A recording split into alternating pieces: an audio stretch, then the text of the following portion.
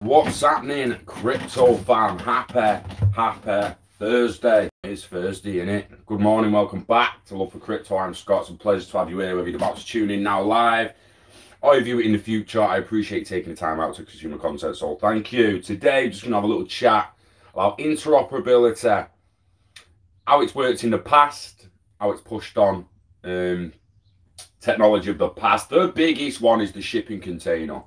The biggest introduction currently of interoperability globally was 100% the shipping container. Not that the internet didn't do it well with data, but the shipping container, where would we be without that now? We'd still be hauling it on with ropes and bags and shit. Mate. Morning, Alan. Morning, everyone else. So, yeah, let me just get a picture of that up because it's extremely interesting. Um, let's see if I can find a shipyard pre-shipping container.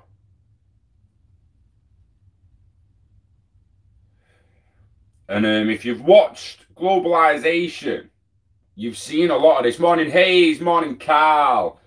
Um, images, images, images, images. Just show me loads of flaming shipping containers. Right. You can't actually find pictures of it somewhere, but I mean, it's no secret now, is it? That we have yards on yards of that shit all over the fucking place. Now, that is goods. Goods. Interoperability of goods, products. But for the full... It was... We'll go to the fire first, because I've mentioned this in the past. So we have a fire triangle. Yeah? A trifecta. A lot of people know everything needs to be a trifecta these days. You need a triangle for something to work. It's usually a Trinity. Oxygen, something to burn, and something to warm up. Huh? Oxygen, fuel, heat. Gets hot enough with an oxygen, something's going to combust. Fact. Yeah? That's your, that's your trifecta. So, what Ripple and Co have been working towards is that data, money, and goods, a trifecta. We've got the interoperability of data. We can already move data between multiple networks. We already have a network of networks when it comes to data. And goods is within that. The shipping container, it's at the bottom. So we've got the data, interoperable through the internet. We've got goods interoperable through the shipping container. And we've got soon to be money interoperable through the Interledger protocol stack, which is that. See it in the thumbnail. Yeah? So I've read this before, I believe. I don't think I read the whole thing last time. I've read it before, but interoperability layer three. Right? This is Evan Schwartz. Yeah? Two years ago. Layer 3 is for interoperability. And just to collaborate, like just to instill it on the thumbnail, right? ILP is layer 3 on the architecture. Yeah? That's what they mean. Not layer 2, layer 3. So layer 2 technologies such as Lightning and Plasma are set to promise big strides in scalability, interoperability, and functionality for blockchains. However, most layer 2 projects focus primarily on scalability and only occasionally mention interoperability. Why? This is just a matter of timing or stage of development. This is actually how it should be. Because layer 2 is for scaling and layer 3 is for interoperability. Scaling and interoperability are complementary but separate concerns that are best addressed through different protocol layers. To make this case, I'll give a bit of a background on the purpose of a layered protocol, architectures, and the roles of layers 1, 2, and 3. I'll also explain how separate scalability and interoperability improves the solutions for both and paves the way for an internet of value whose design is surprisingly analogous analog to the internet. Analogous. And fuck off. so the purpose of layered protocols, one might be asking, what is the purpose? It is always possible to agglutinate multiple separate problems into a single complex interdependent solution. In most cases, this is a bad idea. Okay. The internet is the best example of a layered protocol architecture and its design was a key factor in the internet's growth and usefulness. Different pieces of functionality are split into separate protocols that build on one another rather than being bundled together in one monolithic system. For example, the Internet Protocol, IP, is built upon different underlying network technologies or link layer protocols such as Ethernet and Wi-Fi. Because IP was designed as a separate layer, it's not tied to any specific network technology and is able to work in the same way over many different types of wired or wired connections internet architecture layer 1 to layer 5. Layer 1 being the physical, copper fiber radio, radio and layer 5 all the way up at the top. You've got your apps and, and all that stuff, application layers. Right in the middle, you've got internet protocol on layer 3 for the interoperability of data through the internet of data. The hourglass architecture of the Internet IP abstracts away the differences between underlying networks and applications built on top of it. Layered protocol architectures provide a number of important benefits.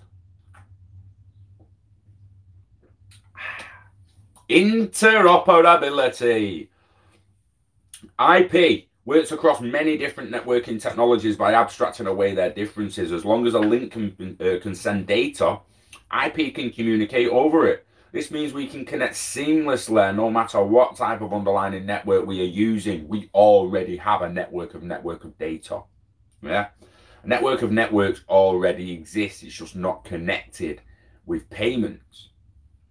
You haven't got a network of network of instant settlement or a global RTGS system. Upgradability. Abstractions enabled different layers to evolve separately. While the internet was built in the 1970s, the fact that IP abstract away the different networking technologies has enabled us to upgrade from digital, um, from dial-up, sorry, to fiber optic, digital and 4G links. The higher level protocols did not need to change, but our connections keep getting faster and newer networking technologies are developed. Common infrastructure for multiple use cases. IP is also independent of any particular use case, which enables the same infrastructure to be used for applications ranging, from web to email and voice over IP. VoIP in brackets there. Voice over IP, interesting. If the internet had been built specifically for file transfers, we might have needed whole separate networks for each different use case. Now, what do you mean there? Can you imagine needing a whole different new network just to send pictures to each other? Then a whole different network, excuse me, to send PDFs. Then a whole different network to send MP3s. And then a whole different network to send MP4s. And so on and so on and so on. And if you want to change your language, you have to go to a different network. You know what I mean? For all the different use cases from the languages if it had been built specifically, we might have the need for separate networks for each use case. Instead, we have a single internet that can be used for many types of communication. Layering is an essential tool for designing systems like the Internet of Value, or the Internet or Internet of Value, sorry, but deciding which features fit into which layers is the hardest part. Too many layers makes the system overly complex. Too much bundling hampers interoperability and upgradability. So protocol stack for the Internet of Value. The Interledger protocol stack has a direct parallel with the Internet Protocol Suite, largely because we found that splitting functionality into analogous layers helped solve issues at each level. Here I'll briefly go through each of the layers to explain their roles and show the benefits of focusing layer 3 on interoperability. The interledger architecture built in the same way the internet architecture was with interoperability at layer 3, your ledgers and physical networks at layer 1 and your application and transport built on top.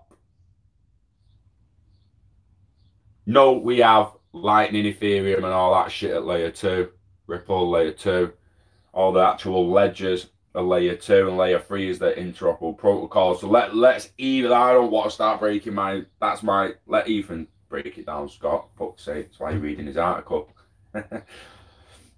so layer one, the ledgers. Blockchains and other types of ledgers are like the physical cables that underpin the internet. Digital communication is ultimately made possible by wired and wireless links that carry, that connect individual devices and carry data between them.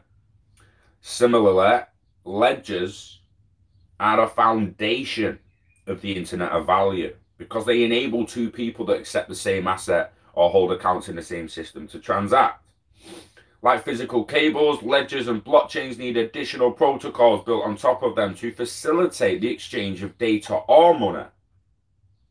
In the case of blockchains, the main issues are scaling transaction throughput and lowering latencies while maintaining decentralization. Ledgers are destined to be performance bottlenecks because they are logically centralized. Whether a ledger is maintained in a centralized or decentralized fashion, it needs a single consistent shared state of accounts and balances to ensure that money cannot be double spent. Updating widely shared state is always going to be relatively expensive and slow, and the bottlenecking will either be the speed of consensus in a distributed ledger or the performance of a single machine in the case of a centralized ledger. Improving ledger scalability is very useful, but moving common and repeated transactions off the main ledger using layer 2 protocols will increase throughput and lower latencies even more. Layer 2, local area networks. Hmm. Layer 2 solutions for scaling blockchains are analogous to the link layer protocols of the internet stack such as Ethernet and Wi-Fi. This layer creates bilateral links for local area networks or LANs that allow directly connected parties or devices to communicate efficiently over the underlying network. Layer 2 technologies for blockchains are designed to enable fast, cheap, high throughput transactions over the underlying ledger, generally by using a form of pro programmatic escrow this category includes bilateral technologies like payment channels and generalized state channels, as well as multilateral solutions including payment channel networks like Lightning and Raiden, sidechains, and Plasma.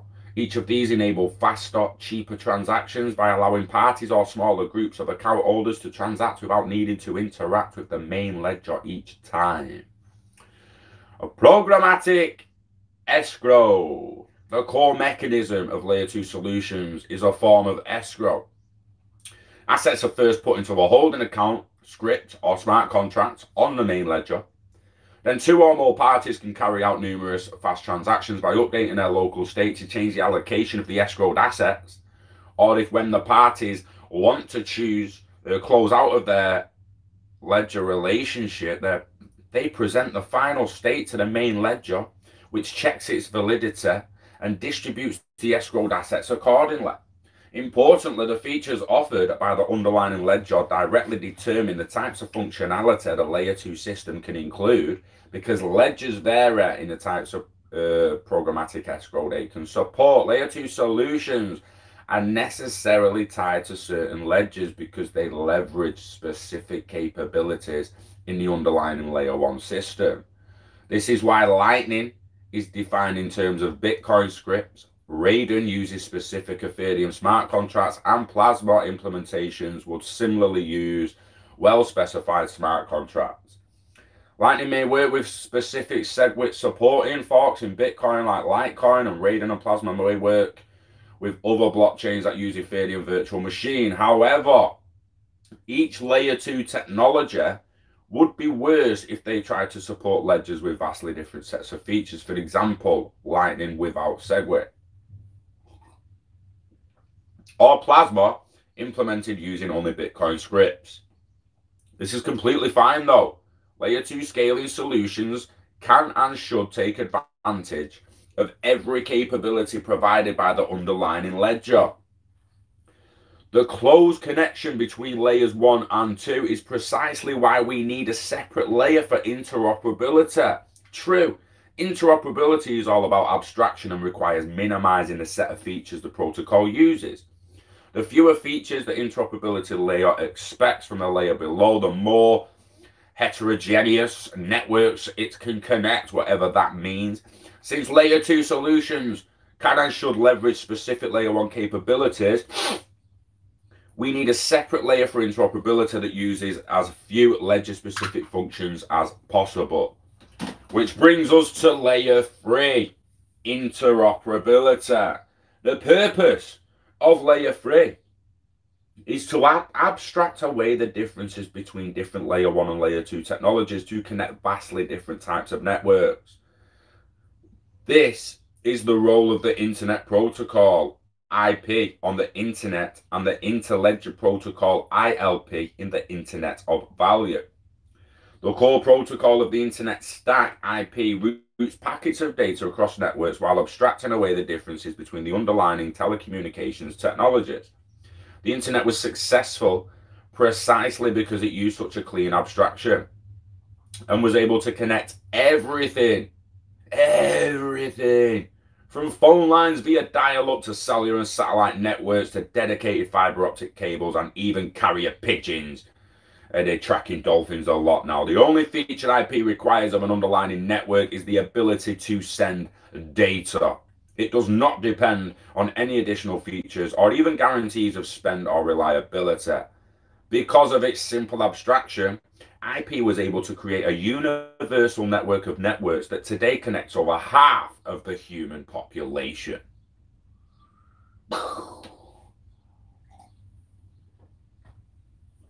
Damn! I'm sorry I'm not reading comments, but I want to read this article before the fucking I want this article read as fast as I can. I'm 17 minutes in already. I've read fuck all. now I'm nearly down it. Minimal abstraction over layer 2 networks. In the Internet of Value, ILP packetizes value like IP packetizes data. It routes packets of money across the networks while abstracting away the differences between assets in a ledger or layer 2 technologies. Like IP, the core of ILP is the network agnostic packet and address format. The only feature ILP requires of the underlying layer is the ability to send value. It does not require any specific transaction types, functionality, or programmatic escrow. Faster, cheaper transactions improve the user experience, but even they are not strictly required. ILP's minimum abstraction enables interoperability with all types of layer 1 and 2 networks including those that were not designed to be interoperable. To date, it has been used to connect the Bitcoin Lightning Network, bilateral Ethereum payments channel, XRP payment channels, three very different layer 2 systems. Work is underway to connect all other types of layer 1 and 2 systems. You should get involved. Layers 4 and 5 are not the focus of this post, post but you can read um, money and data over ILP, learn about Stream, recommended layer 4 transport protocol inspired by QUIC. Mm. And keep an eye out for future posts on layer 5 and application specific protocols built on ILP and Stream. Conclusion Separating scaling and interoperability. Scaling and interoperability are complementary, but they are fundamentally different types of problems that are best solved by separate protocol layers scalability solutions like Lightning and Plasma work best when they lev- uh, when they leverage the full range of features provided by their underlying ledgers. In contrast, interoperability protocols like Interledger require minimal abstractions that enable them to work across vastly different types of underlying networks. A subtle benefit of separating the link layer and interoperability layer is highlighted by the fact that the internet still works today. The internet protocol was designed for computers the size of rooms, yet it is still applicable to cell phones and the Internet of Things devices. By reducing the features IP required from the underlying network, it also allowed for a significant later improvements in the underlying technologies. This would have been impossible if IP had been built on the specific features of APIs of networks at the time it was developed.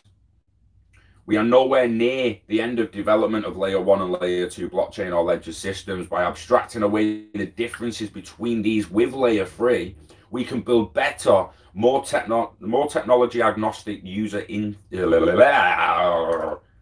user experiences while allowing for future developments that will make the internet of value faster, cheaper, and more efficient.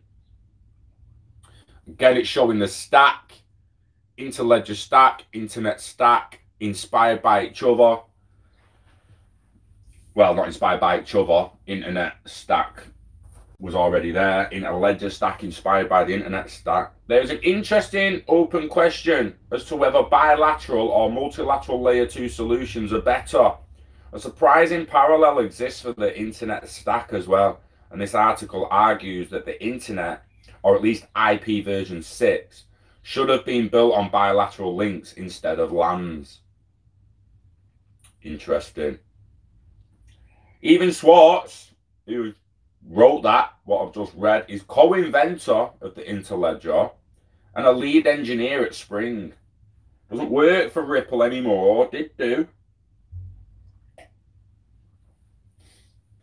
when people like to say ripples Interledger, it's not actually ripples Interledger anymore. I like to say ripples XRP. It's actually not not their currency. They just hold a lot of it. Right. Mornings, everyone. I'm sorry. I not um I not been to comments, but I wanted to get rid of that. I wanted to get through that first. So morning Steve, morning Chris, morning Alan, morning everyone. What's A night at the operability car.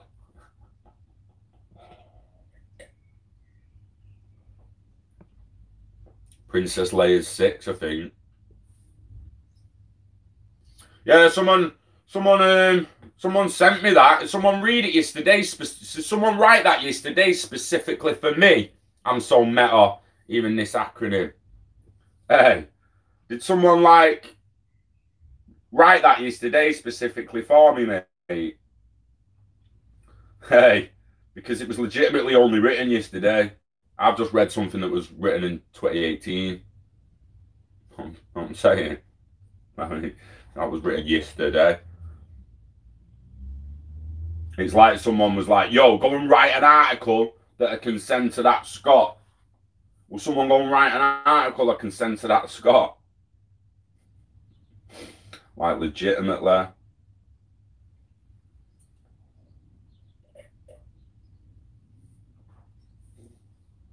I'm on the wrong phone to get it up.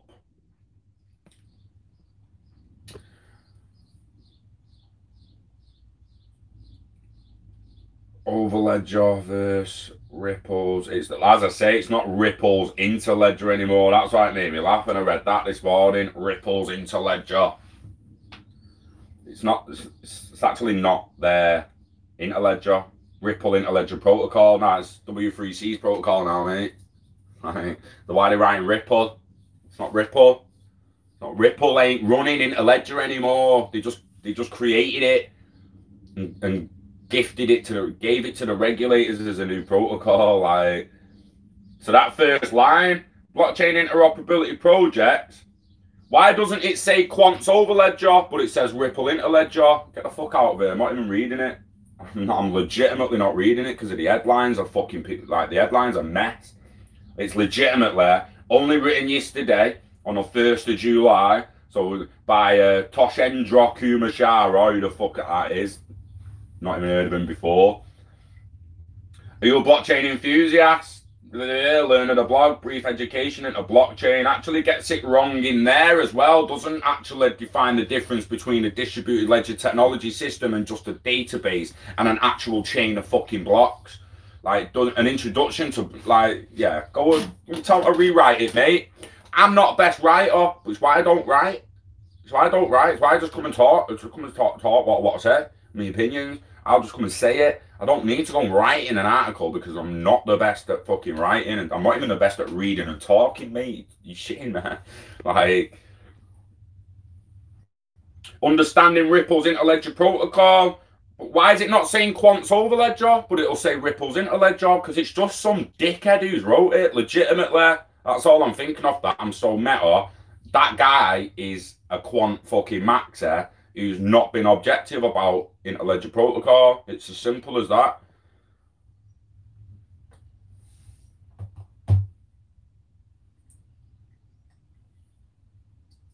Ah! Oh, it's not making any sense, Carl.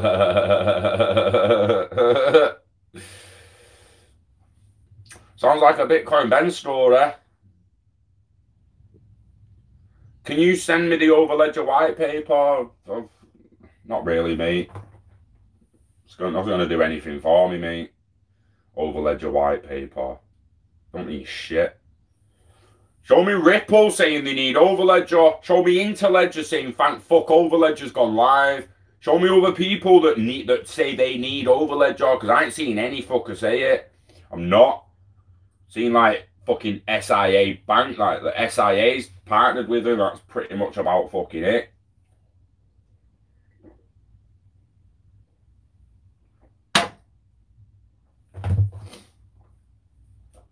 Go and ask David Schwartz what he thinks of it on Twitter. And when he comes, when David Schwartz comes back and says, "Yeah, Ripple need Overledger, I need Interledger Protocol needs Overledger," then I'll start listening to you. But until other people acknowledge it, I'm gonna waste my time here.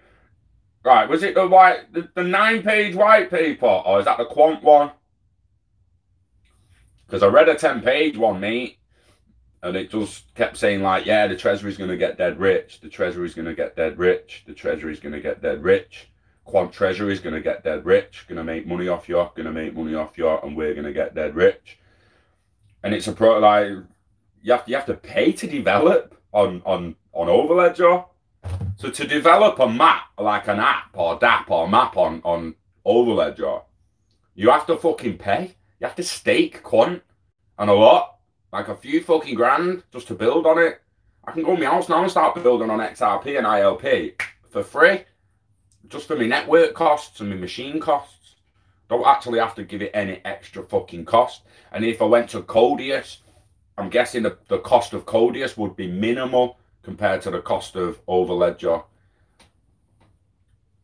Thank you, David the Amazer. Top name, lad. Stop shilling that overledger, Mr. Big. G'day, steady from us. See, it's got about interoperability. The thing is, we don't need we don't need overledger me. Like you can keep telling me I do, and you can keep trying to tell me that what what do I need it for? I don't need overledger for interoperability of payments. ILP's done it. I don't need overledger for interoperability of data. We've already got that in the internet. What over, Overledger actually bringing to the table. It is a giant Tyson, yeah. Big, big Stardog dude. He wrote it yesterday by chance. Well, same they didn't write one in 2015 when they when they created the company on it. You know, when Ripple started writing theirs. Ripple actually had Ripple protocol in 2013. It became Interledger by 2015. But now I'm supposed to jump ship now to the new interoperability. Like, do people understand the the the, the W3C level to this? Did he did he understand the W3C? Guys, fucking hell, Mr. Big A, that's lovely, that isn't it?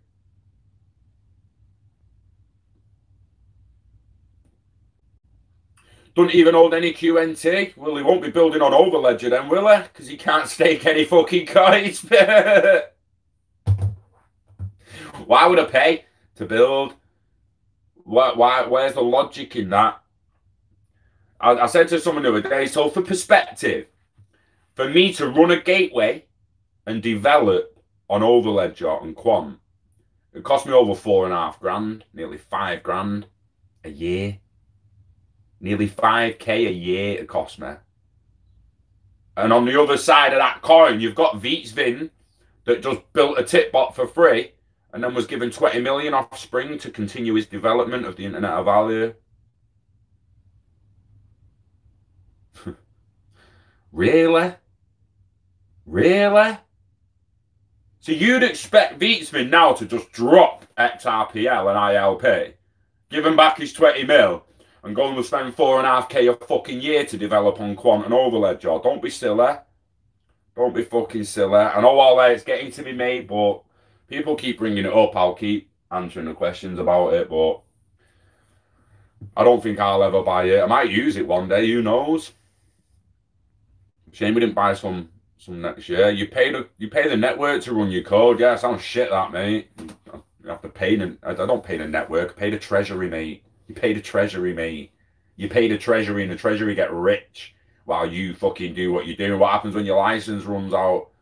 Same as T Fuel and Theta. Really fucking love that idea of it. But then you need a stream key. You need to be given permission to stream on there. So I'm thinking, well, what happens if I build up a 40k following on there and then they take my stream key off me? The fucked. It's all the they're acting centralized. They don't do do you not realise we're going into a decentralized world and anyone acting centralized, you've got no place. You've got no place for you, mate. You don't own your own company. Jeff Bezos, the sooner he realizes he no longer owns Amazon and within 10 to 20 years, society's going to tell him how he does fucking business and to, to, to pay tax and all his fucking spending is going to be tracked. It ain't just the people at the bottom that are going to get tracked, guys. Every motherfucker is going to be held accountable. It, it's, it, it, yeah. Or they need to fucking be by 2030, or you know what's happening.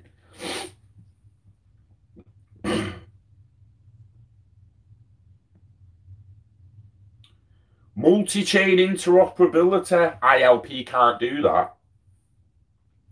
Interoperability between any API and DLT, ILP, yes, yes it can. Do you understand it? Intelligent. Pro, did you did you listen to anything I read, mate? It's just a protocol. It's an API itself. ILP is a fucking protocol and simply just an application programming interface is all you need to tap into the payments of it. Like, I don't. We're not put a bit of David Schwartz on. I mean, not David Schwartz, a bit of uh, Chris Larsen. Should listen to a bit of Chris Larsen? As uh, one world. Um, it's also never been sort of more divided because it's a fire. You know, you cannot have. Um, it's more. Uh, it's a work in progress. It's incomplete. There is something missing with globalization. And we like to use the analogy of fire. You know, you cannot have fire uh, without fuel, oxygen, and heat. And I think the same thing applies with globalization. You, globalization does not work unless you have interoperability between three things data, goods, and money. And the truth is. People have watched our globalization documentary, haven't they? The smoldering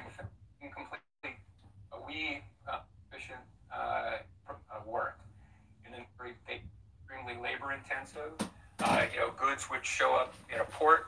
Uh, they'd have to be unpacked. They'd have to be repacked. This was an incredible sort of friction point or burden on global trade. And then along comes a very, very simple innovation, a very simple technology, nothing uh, super complicated, very, very basic, low level, called the shipping container. Mm. About the 50, but, you know, shipping 50s weren't that long. Oh, cheers, Chris. Cheers, Chris. There you go, there it is. There's the pre-container, the picture I was looking for before, of everyone handballing shit onto ships. And like I said, imagine the friction within that compared to what we see now. In the next 20 years, you had about a 700% increase uh, in, in global trade. And that why is that? It's because now goods were completely interoperable around the world. You go from ship train the truck without having to touch anything. Every port in the world uh, was interoperable. You didn't need bilateral agreements to make to ship goods. Um, shipping companies were interoperable. So again, it fundamentally changed the way goods worked. Goods are now globalized. We all know what happened with data. You know, before the World Wide Web, it was incredibly expensive to communicate or send data cross network. Uh, so that was a huge uh, point of friction on how the world communicated. Obviously, with the World Wide Web now, 3 billion people can communicate without being on the same network. That's really the key point there. Uh, we have a network of networks when it comes to data and communications, fundamentally changed the way communications work. But that's not the case with money. Money is sort of that missing ingredient. Uh, with money today, the world spends about $2 trillion a year just to move value between networks or cross border. Uh, and even spending that much money, uh, we have uh, missing app, you know, access is blocked to billions of people. And you have incredible fail rates. So single digit failure rates on cross border value transfer. Single digit. You know, we in tech world, you talk about five nine reliabilities. That's expected. When it comes to cross-border transfers of value, you're talking one nine.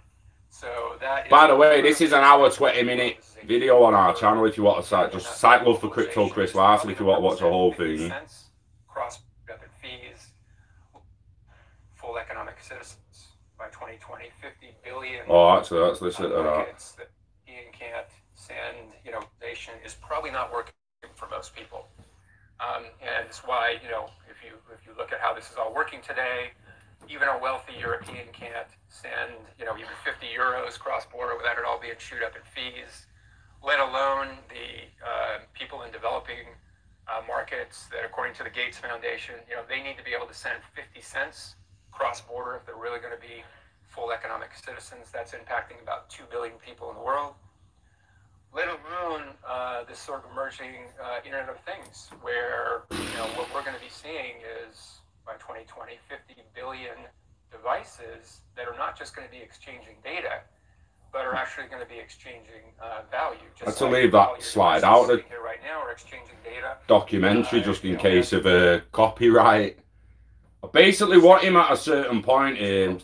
Apologies, guys. Okay, but there is light on the horizon here. Um, we have new technologies that uh, are showing great promise. And obviously, one of the big themes, I know you guys talk about this a lot, and this is in the press every single day, and it's, I don't know if it's the most overhyped uh, category of technology, but it's probably a contender. Um, blockchain technologies, you know, obviously a fascinating technology. It is uh, ingenious. It's a game changer for sure. Um, you know, and, and what is it? It's a novel way of recording transactions that makes them immutable. Uh, these are basically distributed uh, or decentralized databases where multiple copies of that database are kept all over the world. No one party that uses the database can change the database unless you have consensus with all the other people that are, that are using it. Definitely very novel, very interesting, will have some applications. However, at the end of the day, a blockchain is nothing more than another network. So it does not solve this problem of interoperability or this need to have a network of networks for value. In fact, it's just adding to the burden of that need, right? These are just additional networks. They'll need to be interoperable. Bitcoin will need to be interoperable with Venmo or with HS, HSBC's core ledgers. That problem cannot be solved by blockchains. And we think this is the critical need uh, in, in fintech because, again, this will set uh, a new platform for this, you know, again, Cambrian explosion of new, of new startups. So while blockchain is not the answer, um, we do think it has set off kind of an unstoppable movement. It's attracted so much attention, brain power, and capital. And now you're seeing kind of second generation applications of not just blockchain, but I think more broadly what you'd call uh, distributed financial technologies. One of the ones we're most excited about that we do think can solve this interoperability problem or become this sort of network of networks is something called the Interledger Protocol or ILP. And we think that can solve that problem of how do you enable sort of a network of networks to allow value to be instantly transferred between uh, two networks or multiple hop networks, uh, just the way the internet has fundamentally changed data. And I'll talk about this a little bit uh, further. Uh, but we think this is really the game changer that brings us to that sort of idea of a grand network of networks where you have goods, data, and money all interoperable globally. And I think now we're off to the races on making globalization uh, work and including those 2 billion people that uh, you know are now kind of off the grid. They now become full economic actors, um, or full uh, citizens uh, in the global economy, and that those uh, devices actually become full economic actors as well.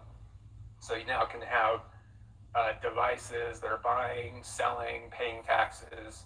Um, I mean, this will have all kinds of implications. You could argue that Japan will be the most populous country on earth in terms of economic actors, since they probably are building most of the devices and robots that will actually be exchanging value. That really changes the game uh, on how the world's going to work. So again, uh, we think uh, this is all about then head down. Let's let's start building. let's kind of knock off all the disruption talk that is really actually holding things back. I would argue that some of the early Bitcoin discussions around can people kind of see where we're coming from? Because these guys have been on this since 2013, been in with the W3C and all the regulators since 2015. Do you really think they've got it wrong? And if they haven't got it wrong, why are they all not talking about each other with this overledger stuff? Treasury is just decentralized smart contract. Well, there's a there's a video on the Treasury that they released the other day He worked. He did. There's there's there's there's white papers and patterns going back to the 80s. Tyson, like legitimately, yo Alex.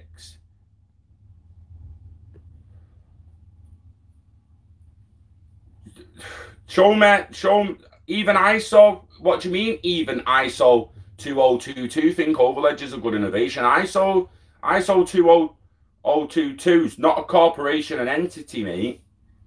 Like it's not not like a corporation an entity can come out and go, yo, we're ISO 20022 and we think that Overledge is a good innovation. That's just someone on Twitter pretending that that ISO 202, I'm imagining.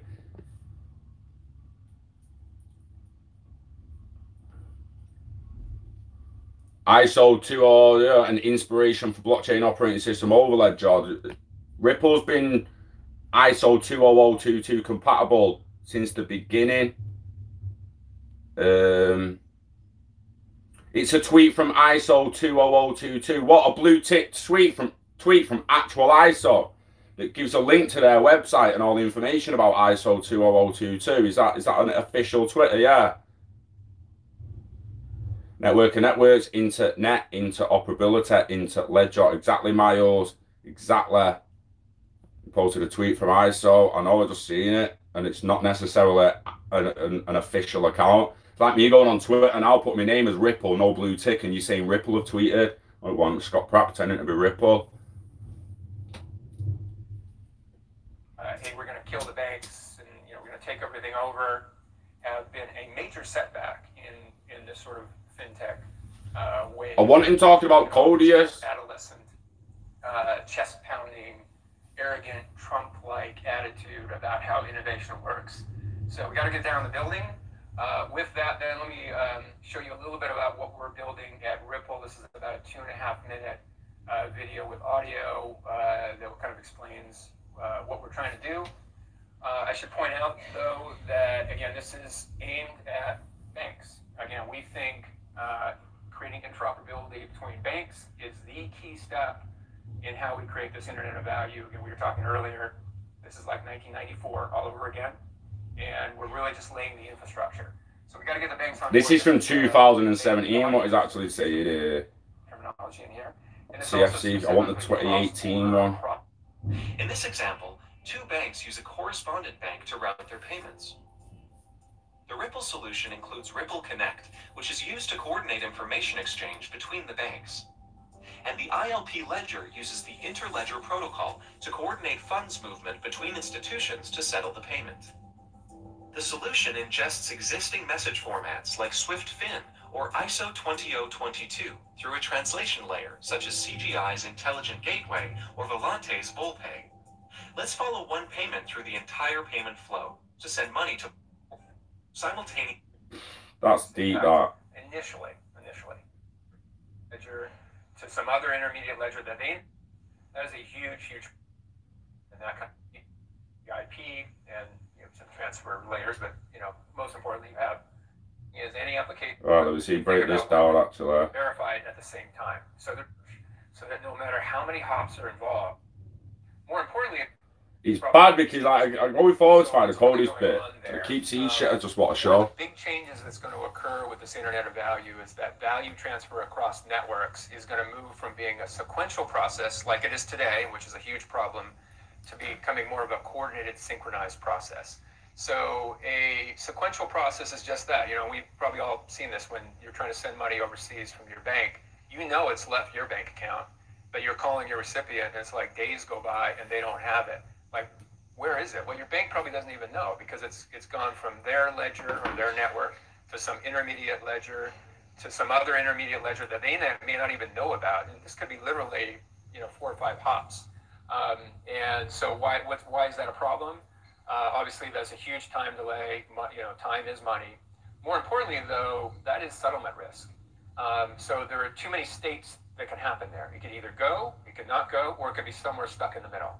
That is a huge, huge problem. So uh, that settlement risk is really what drives up costs. And then that makes small payments that you might need from the underbanked or from devices or just from you know everybody uh, unprofitable and not possible.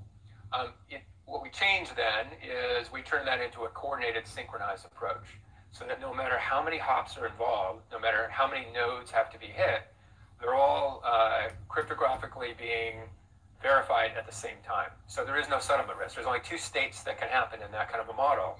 It's called an atomic transaction. It either goes or it doesn't go. Atomic is kind of the key word there. And that's sort of the way the internet works, if, if you will. Uh, the other kind of big thing that's changing, of course, is that we're modeling this after the architecture of the internet. And you think about what, what does the internet really mean? It's you know internetworking. Um, that just simply means you have the ability for networks to uh, communicate with each other. Um, so, you know, kind of a network of networks. Uh, and that's a very different model than what you have uh, today. If you look at the way the internet architecture works, at the bottom you have, you know, whatever network it is, you know, Wi-Fi, Ethernet, whatever. And at the top you have whatever application is trying to be used, right? So the key thing is any application can be used on any network. How does that happen? It's because in the middle you've got, uh, you know, obviously IP and some transfer layers, but you know, most importantly, you have this internet protocol which which allows that, um, and that's what you're doing now. Just so for, hang on. Really what the fuck am I doing here with this? So All this time I've been doing that. Have three examples of distributed ledgers, but that could certainly be HSBC's ledger, Citibank's and ledger, Venmo's ledger. Everybody, you know, any payment company has a ledger that holds state, and then of course any application should be able to run on any any uh, network. That's not the way it works today. Every application needs to be built on every single network uh, independently and differently. Yes, Agora. That's, the, that's a huge problem. So I when Moon, when the rockets built me, is analogous to IP Internet Protocol. Um, and again, what you're what you're really trying to do exactly, is, Gada. How long this has been happening? This is 2017. This chat well, are you on Verizon or you know are you at AT and T or you know what, what's who's your provider? I just need your address and I can send it anywhere in the world. Um, that's not the way it works with money. If you say, "Hey, send me ten bucks," well, are you on? Venmo? And interesting if we just pause that. Visa. Oh, that's the way pay IDs now going. Bob at bitrue.com.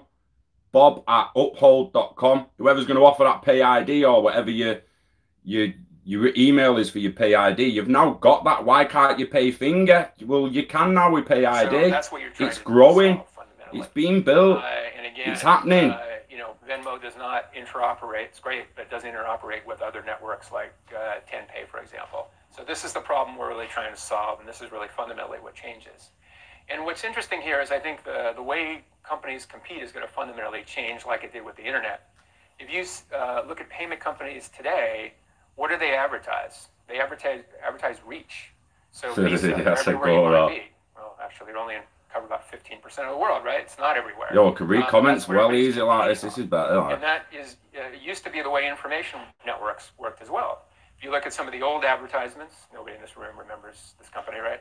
Um, mm. You know, uh, CompuServe. Yeah, it is what I say, right? So at the start of the internet, it was all about reach We get here, we get there, we've got more members than anyone else, all the partnerships, blah, blah, blah. But when everyone had reach, it was more about speed and reliability. It wasn't about the reach then. What do they use to advertise? We've got you know the most members, we're the biggest, we have the most services, uh, and obviously in, the internet uh, changed all that. The internet commoditized reach. So now whether you're a big company or a small company, everybody has the same reach. So that means you compete on other things. If you look at the communication companies today, they don't mention reach. Uh, what they mention is speed or service, or most importantly, you know, price, ease, ease of use. Yeah, the goal I've realised I can flip the screen while I'm live. I legitimately just realised then, so I don't actually have to show it you. Around the world, you might have a single flip, so I can show it you properly. They're the only ones with reach in that market, and because of that, they can be sloppy on everything else. So they can be super expensive, terrible service, and this is really holding you know back the world. Once uh, extremely interested. It could be extremely expensive when you control the reach. You know, when you think about apps at the moment that could be free but are charging you. Again, why is Overledger's charging you to use it? It should be bringing the cost down. It's commoditized through course, IP and, and data and ILP and value. Now, whatever market in the world now has the entire uh, world's companies competing because everybody has the same reach. That's a big deal. Um, and of course, uh, talk about Venmo, TenPay. Of course, Venmo and TenPay can make a deal with each other, and they can say, "Well, we're inter- we have a bilateral agreement." Um, but here's the problem with bilateral agreements. I mean, certainly you can do that, um, but bilateral agreements don't scale, right? If everybody has to get a bilateral agreement with everybody else, it's a mess. It just doesn't work. That's the S8 Agora. Type architecture is that's and I'm behind me S10 now. That's my selfie cam. So that's my screen facing me. And that's my normal camera facing away from, from the phone. Then, you know, a port in Rotterdam has to have a bilateral agreement with much better way of doing it though. In Denver, to send goods. It just shows up as the same shipping container, right? So shipping containers created interoperability. The internet created interoperability of data, and that's what's happening here. So that uh, we can now take multiple hops, uh, and you can get value between any networks without get bilateral rid of that fucking window. by the way, why bilateral agreements in trade are not as good as trade agreements, right? So we're going backwards in some ways, but we got to move forward in others. So um, but this is very important. And by the way, that first thing we mentioned about the process going from sequential to coordinated, you can't do multiple hops in a sequential system. Right. We so don't really need to hear them about ops. I don't. We all know that. Change plays out. I think. I want the 28. I want the 2018 so, uh, That's all I this had. This is 2017. Is, uh, as far as what I wanted to talk about, I'm of course happy. Net value is a game changer. All right, I was 2018. Throughout Bit of Q and A. You know, there's a couple of things. Bit of Q and A. No. Got us to 2018. like I say, if you want to watch this full video, guys, just search um, at, so, you know, Chris Larsen, Love for Crypto. So, you know, we can see how. Come on. Enable your. Where's the next chart of it? Revolution. Right, here we go. Uh, really representing what we think the here big thing is that uh, we're trying to pay attention to and how it's going to change the world. And then I'll talk uh, briefly about the core technologies that we're betting on. Uh, given that vision that, that we see kind of uh, uh, before us. So, first of all, uh, Ripple is one of the first blockchain companies. Um, we're about 240 employees, headquartered in San Francisco, which many of you know is a city about three hours north of here, maybe four hours. Uh, okay, sometimes that gets a laugh. Um, we have uh, eight, eight, offices uh, throughout the world, uh, and we're growing very rapidly. We're really focused on the enterprise applications of blockchain technology and blockchain derivative technologies, specifically for cross border payments.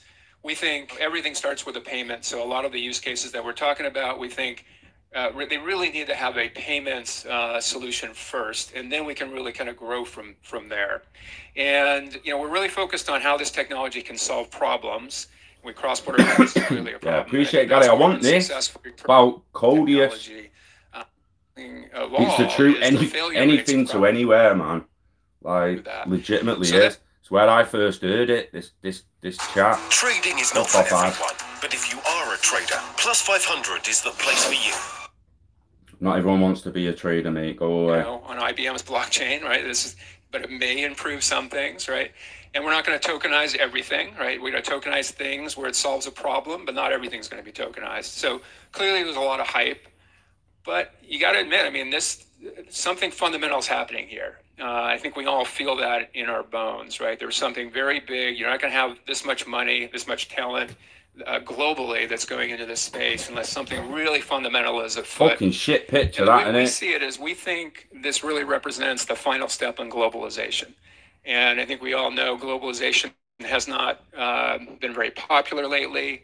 Uh, at the same time, I think we all know there's no future for our world unless we're more global, we're more interoperating more on an international basis. We've got to fix some things. There's definitely utility in it, is Tyson. a lot more to do with it's that incomplete. than anything It's a else. work in progress. And we kind of the example of, you know, you can't have fire without fuel, oxygen, Why is that picture heat. so shit now? you can't have uh, globalization that works uh, without a global system in three key things data, goods, and money. And the truth is, we only have that today in two of those things data and goods. We don't have it in money. So globalization is kind of a lot of potential, but it's not really delivering yet on what it, on, uh, what it could do. We've got to complete uh, this picture. And if you think about it, these other two things, you know, they're fairly recent as well. Data and goods, they were we didn't always have a global system uh, of data and goods. And think about Right, so this is everything again. We've just seen. It's to, to bear in mind, it's the same. Conversations. He's giving different. He's giving the same presentation multiple times to, to different people at different places. uh, that everybody Bear in mind, this is before Brad Garlin out, or just after he left, and Brad trillions Garlin of took dollars over. So he was throwing in a Ledger out, while Brad Garlin example House was four cents to move a shirt all the way across taking over Ripple net. Now, of course, there's some applications Again, we've seen this. Try sending lot of people 50 cents, machine to machine payments. to start talking a lot more about that. Just like we used to talk about AOL CompuServe, and then we switched to talk about the net. I think interoperability is going to be shifting uh, the balance a little bit more that way. And of course, smart contracts are going to play a picture there. So it's those three things. Um, but blockchains and digital assets are a core part again. of it as well. So let me let me talk about what technologies we're making a bet on. I'll talk. Let me talk first about uh, which blockchain. You probably guess which one. uh, Obviously, that we're Um, so first of all, we think the key requirements for any blockchain that's going to be part of this new global system got to be open source so that it can be stress tested. Everybody can see what's going on. It's got to be decentralized. So there's no counterparty. It's got to be permissionless. So anybody can run a node. Anybody can run a validator. Anybody could be a miner. It's got to be re- reliable and secure. It's got to have a lot of history uh, where it's worked. For payments, which again we think are the killer app, we think that's where it all starts.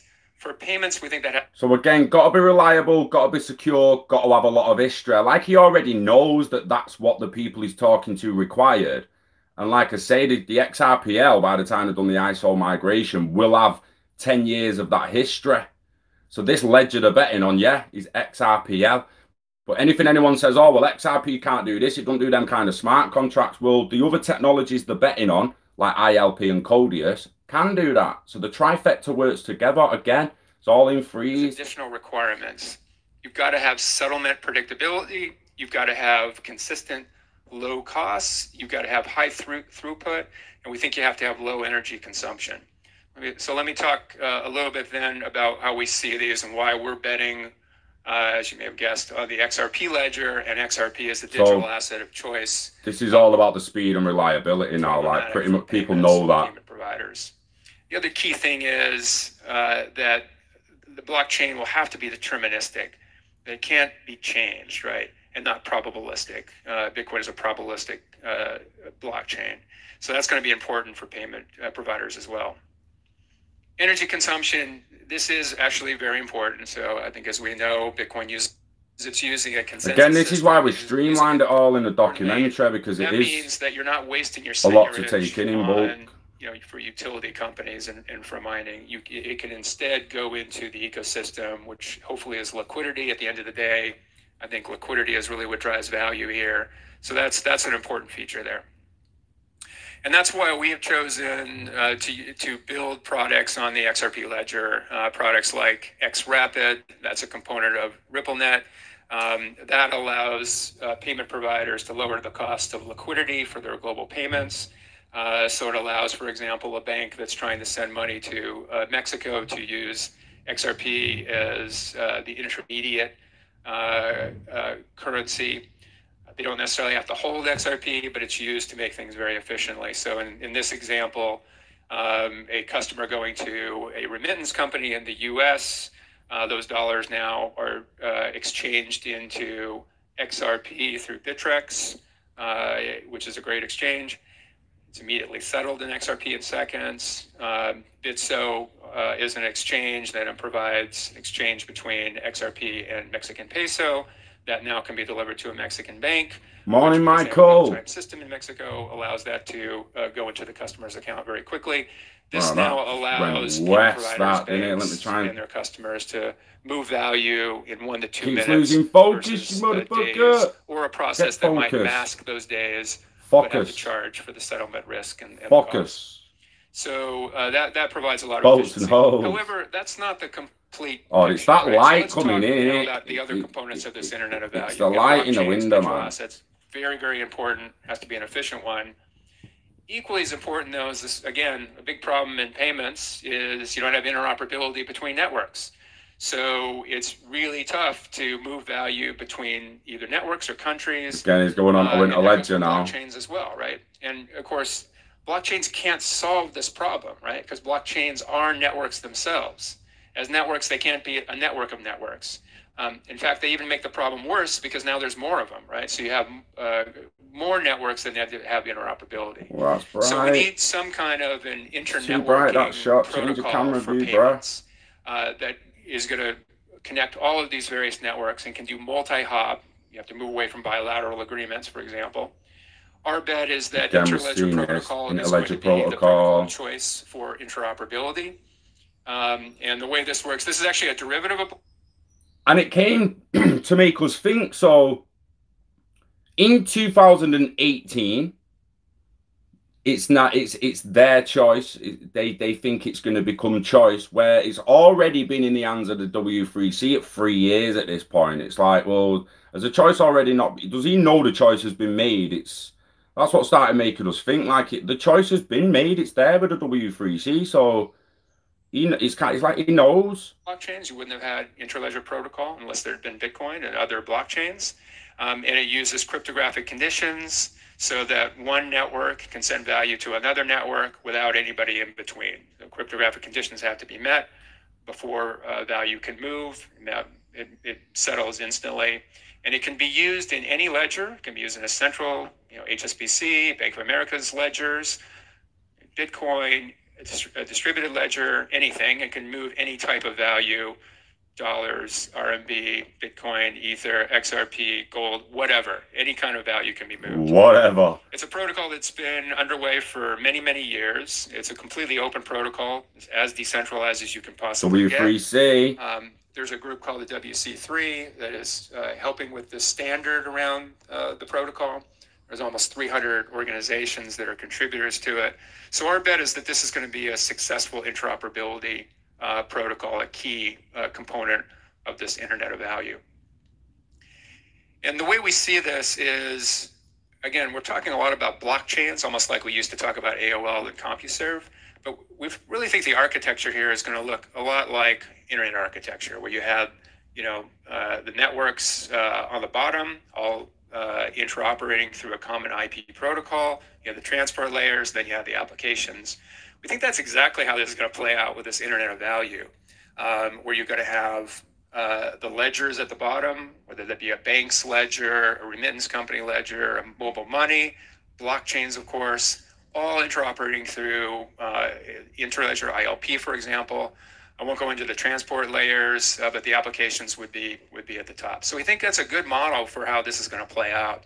We think the conversation is going to start shifting to be a little bit more inclusive of blockchains, interoperability, and then finally the last part, smart contracts. So big you know believers that also smart contracts will play a key role. Um, our bet would be on a technology called Codius, kind of a derivative of Interledger.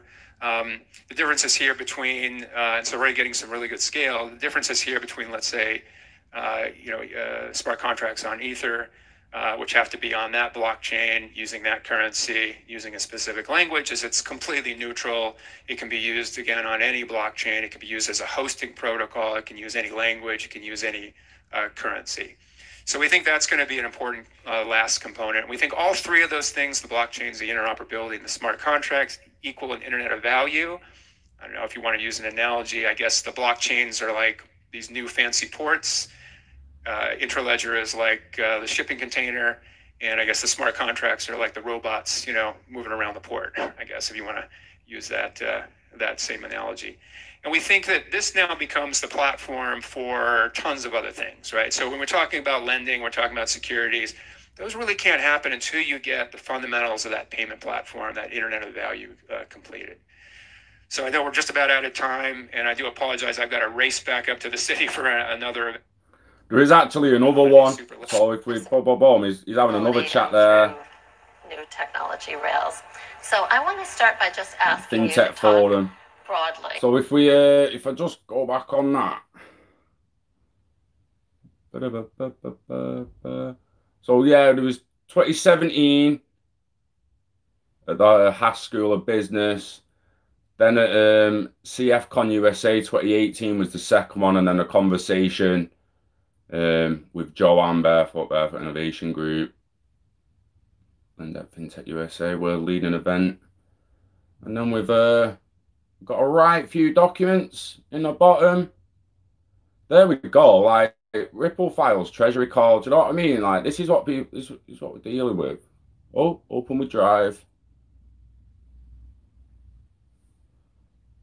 This is a call to action. Ripple Labs Inc. Her Majesty's Treasurer. December 2014. Call to action, the Ripple Protocol. The Ripple Protocol enables payment in any fiat or virtual currency, including the math-based virtual currency developed by Ripple Labs, XRP. we can go back and and it's they sent one to the Australian as well, didn't they? That was the next one up. Australia. Open with Drive. Ripple Lab, same again. Senate inquiry to digital currency. November 2014. Six years ago. Talking to like, do you know what I mean? People are. Oh, that's what's led us to do what led us to do a globalization documentary. Boats and hoes, boats and hoes. Morning, morning, Johnny. Morning, Night Ghost. So yeah, we're just having a little chat about interoperability, um, Internet of Value, how long it's been under construction, should we say.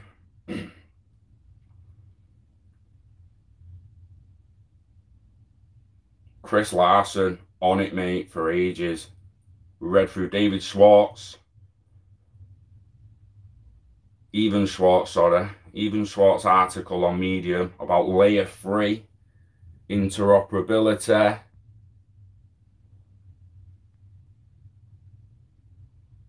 But Ripple of intergalactic protocol night ghost. Like I say, Ripple have created their own trifecta. So when people say, well, I mean that code XRPL from Larsen's mouth himself, people that created it, XRPL, ILP, and Codius work together as a trifecta for the whole lot of Internet of Value. Anything below that can be done on the current internet. That's what people need to get in their head. Like we've got, we've already got an internet. We've got the data, interoperability of data. We've got the interoperability of the goods, shipping container. We just need that value. Just need interoperability of value as well as interoperable smart contracts, which can be made on Codius. Now, you heard him yourself, you can run your own XRPL node. It's basically just the cost of setting up the server and shit. Run a validator node, You can run a Codius host at, I believe, a small cost. You can build on Codius not only smart contracts, but smart programs that work across, like what they're apparently saying about Overledger. That's what it sounds like, an OS to, to build dApps and, and maps. Well, Codius does that and is extremely complemented by ILP and XRPL because they're built to work as a trifecta. Once you're onto that trifecta of XRP, ILP, and Codius, I don't believe you need anything else. And like I keep saying, every developer I speak to who's building an app around uh, DLT and interoperability of value, they they they say that's all they need. Codius, ILP, and XRPL. They use Xpring software development kits and stuff.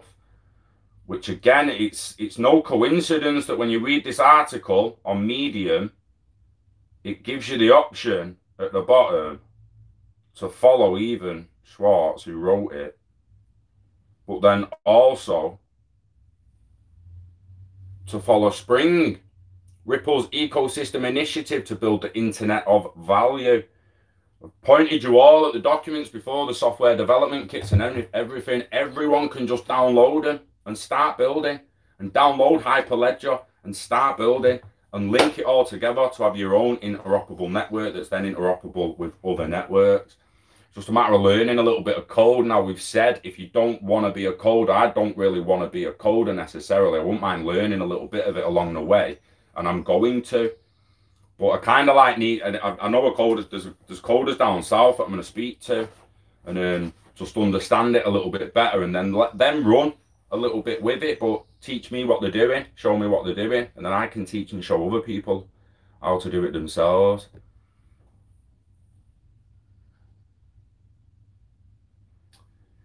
Yeah, where is the floor, eh, Tyson? What is the true bottom and when are we going to hit it, eh? You're lagging or go, right? You're probably not me. It's probably just me again with the comments. Apologies. I've missed the comment. Missed the question. Or you might legitimately be lagging, don't get me wrong, but it's usually just me. Do you think elections are going to affect anything anyway? Just a puppet show agenda has been decided along with it's an hard one, in it, with elections these days. I think you're voting for the, one of the sides of the same coin, you? At the moment, or in the past. Maybe at the moment it seems like stuff that the higher ups and the elites never expected to happen has happened, i.e., Brexit and Trump getting in being a main two, 2016, four years ago, got a fundamental change in politics. Like it rocked politics the fact that the British uh, voted out of the EU and the whole of America voted, uh, most of America voted Trump in, it rocked the elites, I think, and it rocked the people in charge. So I don't know if you still are voting for the for the same side of the for one side of the same coin anymore. They might actually be introducing a different coin now. Definitely, one hundred percent. Once decentralized uh, voting through consensus comes in, we will start actually getting official results and hopefully start governing the country is the way they're supposed to be governed. But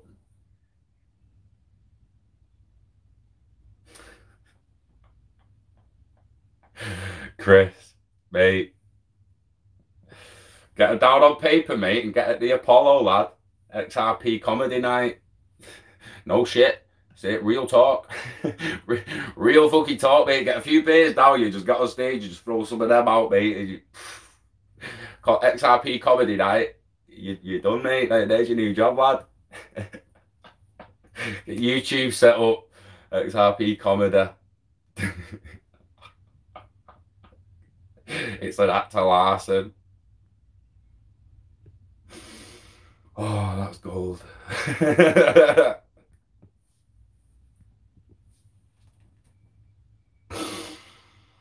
Oh, bear in mind, if you make me laugh too much, you're going to get a couple of minutes of me having to recompose myself. Like, I have to read, like, sometimes after with all that, how, how much you actually make me laugh.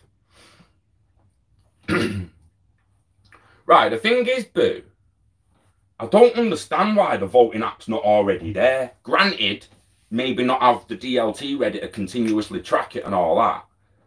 But why is the app not already there, and, and then there'd at least be some data and analytics through the app. Like, does Halifax not agree that when I put my thumb on here, it's Scott entering their app and they let me move my money? Otherwise, why they let me move? Why they letting some random thumb move my money? It's Scott's thumb, in it. Scott Pratt's thumb. So Halifax are going to let me in and move my money. Why the fuck can I not use the same thumb to vote? Legitimately already. The tracking and the analytical tracking of it is completely different once it goes on a DLT database and shit. It's there, it's immutable. It can't be, it's not on someone, it's not on an app server. Like, oh, just change our numbers a little bit there before they fucking look. You know what I mean? Like that, it, it could still be corrupted on an app. Don't get me wrong. But mail-in votes, come on. Mail-in votes? Really? pencil X's. Come on. Like it's 2020. Like then it, it will not be the same in 2024. This is what we can say about voting. I truly, truly believe we can say this. It will not be the same as what how we do it now by the 2024 election. It just won't. It, it, it will have moved on by then. Like people will be, technology can do it now, get it done. But again, it will be, it'll come down to us building official digital IDs then. But again, what apps do they get built on? Soros has had his day though, anime. I think it's time they realise that it's too much of what they do is getting out. Surely he's got to be in court soon for the payments he's been he's given to certain organisations. Because if people are seeing the payments, why, why is why is he not why is he not being pulled in for questioning? And once it goes on blockchain, this is the thing.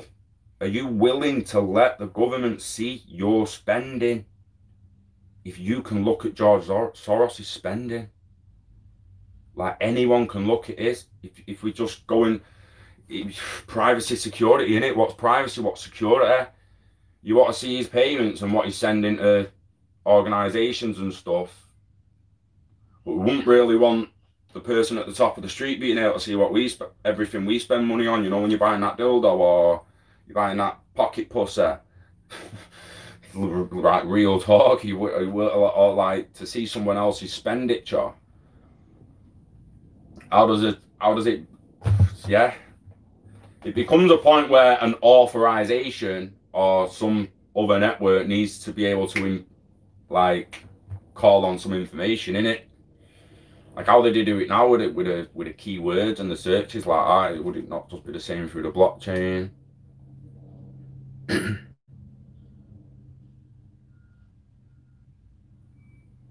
yeah, government gateway legitimately should just be setting up digital IDs, like legitimately. It's the gateway an app. Like they should just have a government gateway app where you do your KYC and set you set your gateway up.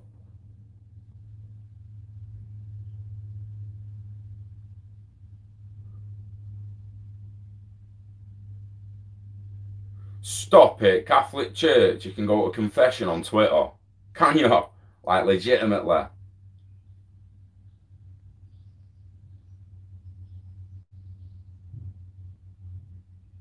Antifa chanting Soros where's our money. Is that legit? Did they actually do that? He's been looking at cars expensive. I see you two for one deal, mate. Like, buy the pocket pussy, get the dildo for free. It was like you couldn't resist it, Stop it. Stop it. You bring out, you bring out the dog in me, you can't, you know 100% that phone. Let's give this phone some battery. Or some charge. Giving it battery, am I? Dickhead. Amazon, you can't tell what's bought, but you can. Your order, your order history. So, like, would it just be, oh, we spent that on Amazon? It's like, well, do you trust that Amazon don't sell anything illegal? and you can't see his purchase, or do you view his purchase to make sure he's not buying something illegal? You get like customs stop shit illegal coming into the country, but should it not just be stopped at the purchase? Just like, listen, bro, you shouldn't. like I bought truffles, paid for truffles, and don't get me wrong, I got warned that they might not be allowed in the country.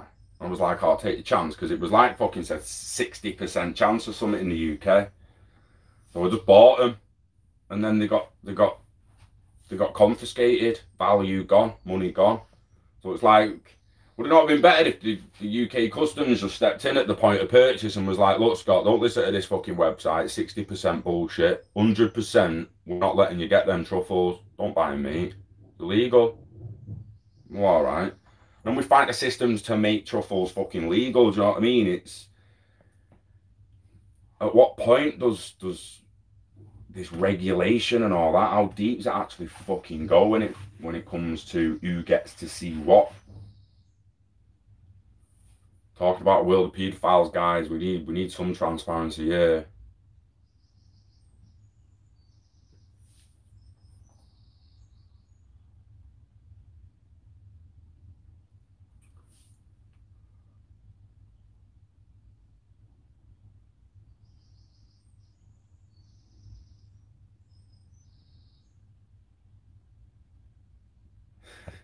confess to being an XRP maxer. Not really XRP maxer, eh? otherwise that's all we'd hold in it. Internet of value maxi me.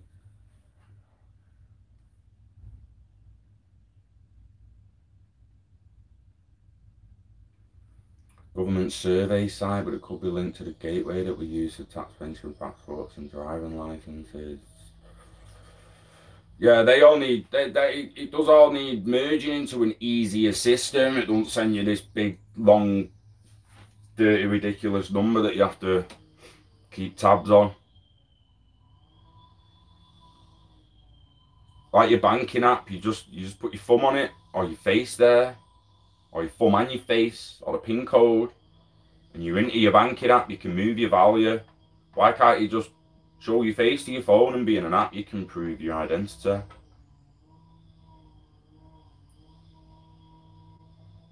We talk about all the time, but how long is it actually going to take? that is another form of interoperability right through it. Interoperability of identity. Any corporation, organization, government entity seeing you as the person you are by nothing but scanning your face or phone or face and phone or you just boom sending a little thing deep face exactly how does how does facial recognition facial recognition is more live recognition and it's off a camera and shit and it was live so pre-edit after ain't gonna do shit and people will be able to tell like experts can tell if a video is officially the video that the camera shot or if it's been edited and, and shit's been added and it's been adjusted. You can even tell it from a picture. Do you know what I mean? So when it comes something like that, that that's that's a little thingy. But then again, we're coming to a consensus where we're trusting the people that say they know how to tell the difference between edited and unedited videos. They could spiel a load of terminology that's just like bish bash biddy bish bosh bosh and that's what they did. And everyone's like oh yeah sounds legit. Fucking hell it was fake you're trusting the, the, the people just like you either trust we landed on the moon or you trust we didn't land on the moon. You trust in a certain scientific consensus or you trust in the, the conspiracy. It's data is the new oil night night ghost 100 percent. Yeah, Garrett's gonna be it's gonna be fucked.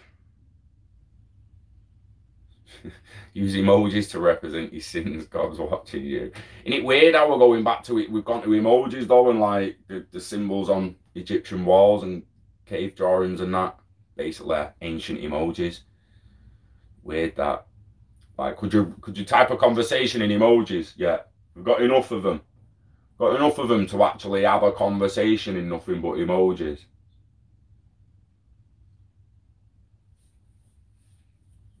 Like you could just send someone a sad emoji. Would they know? Would they know you're sad? Would it be right to assume you're sad?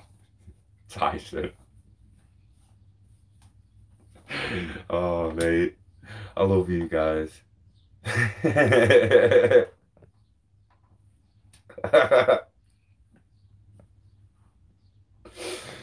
seriously, it's weird, isn't it? Going back to the old ways.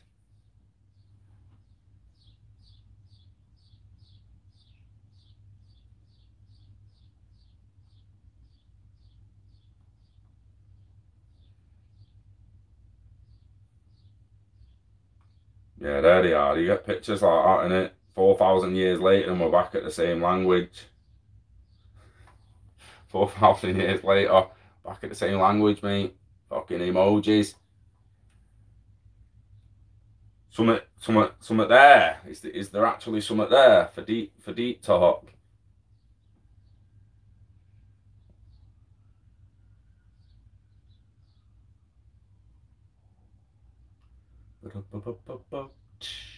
Scott Kemp. Me, where did I go? Went Dartmoor in the last week, but been back since, since yeah, back in the weekend.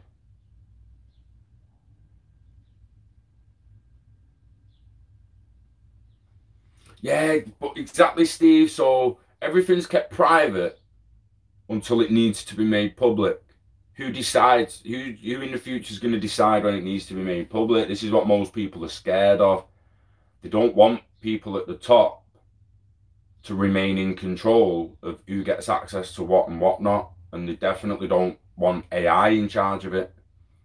Where some people on the other side depending on how that ai is programmed and how it thinks and that are going to rather it be in charge than the people and definitely rather it being charged than the current elites. So, like I always say, you know, the current conversation about AI, everyone wants to go Terminator, don't they? Terminator. I watched fucking Carl Dark Fate last night. Fuck's sake, Carl. Fucking Carl Dark Fate. Not Terminator, Carl. Fucking wake up, Carl. Like, fuck's sake. everyone wants to have the Terminator conversation no one wants to have a conversation of if AI wants to save the world, it has to save the good in humanity. Can't save the planet killing a species on it, mate. You you wouldn't consider it saving the planet if you just killed polar bears and was like, yo, they had it, they had it coming anyway then. They had it coming anyway then. Better to just get rid of them. That's not saving the planet. If AI wants to truly save the planet, which is how you fucking program it, it, it, it goes out to save every fucking species from the plants to the insect to the fucking types of soil, mate, types of sand. It will try and protect fucking everything. What happens when that entity gets online and sees the paedophilia, mate? I think that's what they're fucking scared of when, when it comes to AI. And that's why they make people so fucking scared of it. Because you think of every AI film you've ever watched where it's linked to a blockchain where the AI will only make decisions based on an algorithm when it gets permission off the network. And it'll run with it, boom, boom, boom, and then be like, yo, I'm at another, this, I need you. Yeah, sweet. And it's just gone. Like, any film you've ever seen where it goes back on its rules, iRobot, anything like that, would it work on a blockchain? Could it break a blockchain? Like we say, oh, it's unhackable. People say, oh, well, quantum computer could hack it. Well, can it? Singularity AI could hack it. Well, could it? If you if it's agreeing to a preconceived consensus, why would would it why would it break? Why would it just? It's not fucking human. Don't just assume the robot's gonna lie to you and then want you dead later on. It's not a human. It's uh, extremely fucking interesting. Everyone should be have their own opinion on anything they want. My opinion is that. Yeah, opinions like assholes and everyone else's stinks, but yours, it's it's it is what it is, isn't it? Fucking David Schwarzenegger emoji. Do you know that's what I should have called that little XRP beast that I've got on the t-shirt chopping Bitcoin's head off? Should have called him fucking David Schwarzenegger. That's quality that. Quality that. Bonjour. Bonjour, Bob. Montreal, Quebec. nice, nice. But it's beautiful out there, isn't it, mate?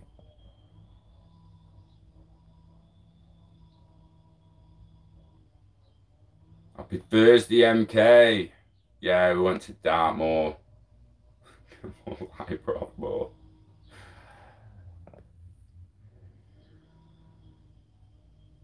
Oh, Navarra. There's a video of me online pulling in a Nissan Navara, Tyson. Should, should give it a go, mate. Pull your truck up the car park with someone in it, steering it, ready to brake. You don't run yourself over. Or if you're a beast, fucking stop it after you've pulled it.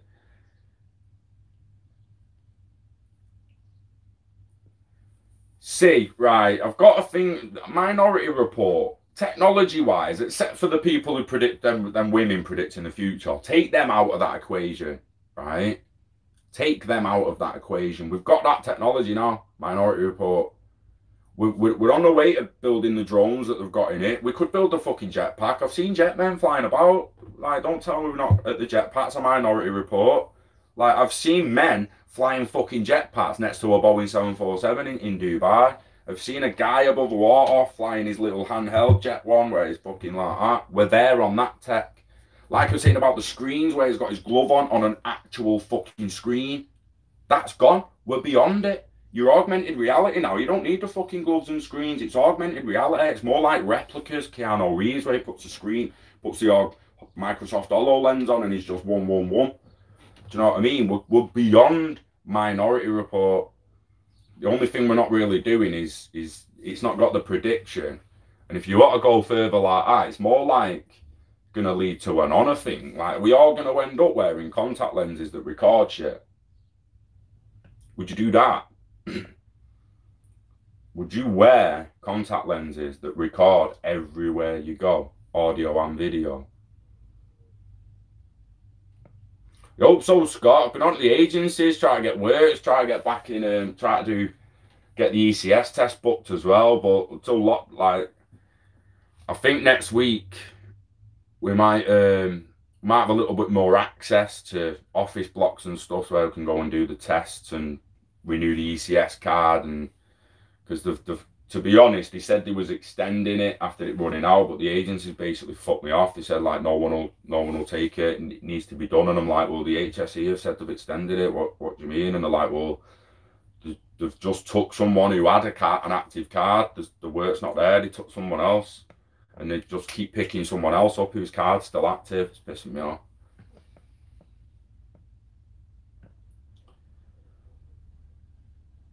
Have you seen replicas, Gary? Watch replicas, mate. That that is the future we're going to. Without um, more than Minority Report, replicas mixed with Anon. People need to watch this movie, man. Cats fighting. Watch that movie when you get time, guys. Anon. Clive Owen. Right? And when you're watching it, because you're into blockchain, you know about blockchain, they call it the ether. I've only seen it once or twice. I've not really worked out whether they've got contact lenses in or whether they've just had bionic eyes fitting. I need to watch it again myself. But they're recording everything that happens. So when a crime happens, it's not a matter of asking the two people what happened. It's about accessing their data and watching what happened. So you know who was in. Like people can then make a decision. Well, you was clearly in the wrong, and you come like the the, the it, it, still overheads, but again, it would be it, with a blockchain. I want you to watch that film and imagine it was on a public blockchain where everyone had access to what them agents are seeing. So when an agent gets someone's data, imagine anyone could just get the data as long as it was required. And this is what we're saying. It's not like you can go and get Sally Jones's data at any point. It's as if a crime, if a crime happens and it says Sally was there, a chip was there, so was him, him, and him, and bring them all in and watch the data, and everyone can watch it. Everyone can watch the court case. Everyone has eyes in the courtroom. There's cameras. Does that film the woman who's off the grid, can she exist like that off the grid in, in a future world run by a blockchain? It's it's extremely interesting. Now Black Mirror, Like that episode. What is it? it it's the one with Toby Kebbell. So let me let me search Toby Kebbell. Kebbell. I don't know how to say your name, Toby. Sorry, mate. I know you're not watching, but Tony Kebbell Black Mirror episode.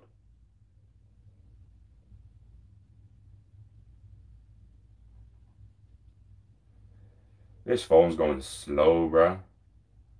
The entire history of you is the episode. That one there. That's what uh, Tyson is uh, bringing up. Black Mirror, the entire history of you, you, you can see there, like, they have the memories in their eyes. They can just access the memories at any point and just re-watch what they've what they've seen in the past. Again, extremely similar, but if we watch, if we go to Anon,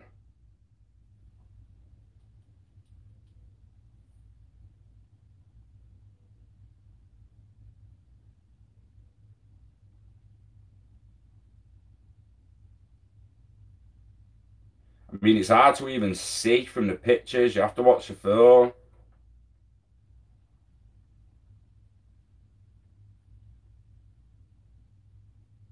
But it's basically the ether in blocks that they see because of a contact or bionic eye. And it's in blocks, blocked numbers, all connected. That Tell me that don't look like a fucking digital rendition of an augmented blockchain. Like just tell, and it's called the ether. I go and watch Anon, and in Anonymous, there's an anonymous person in the fucking ether. It's like, I was like, I was watching like, oh, you call it the ether though, really? Really? Gonna call it the ether? Ether?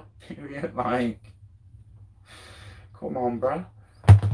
Anon, Anon, mixed with Black Mirror entire history, you the contacts, rewinding it and shit like that.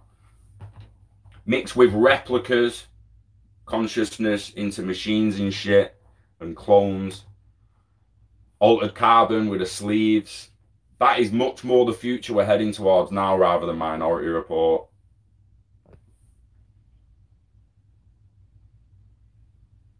Hang on a minute. hey, hang on. Hang on a minute, Carl. Is, is that a real film?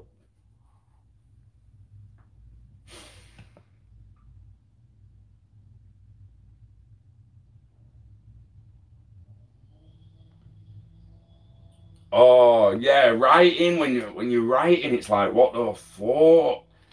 They don't get like you get an eight, a piece of A4 paper these days, mate, and start trying to write four or five lines down. Your hand's like, what are you doing with me, mate? This ain't 1995. Get the put that fucking pen down and get me near a keyboard or some shit. Isn't it weird how like keyboards used to fuck people's hands up? Is that a, is that not as common now? Carpal tunnel? Or getting more common with the devices or less common?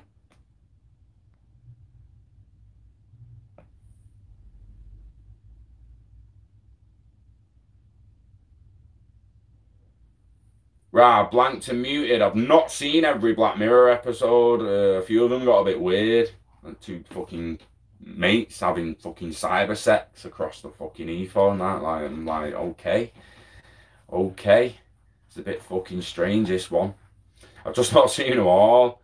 Um, the one, um, the entire history of you, I've only seen once, I think, as far as I remember. That fucking nosedive one, free fall, whatever it's called, that is.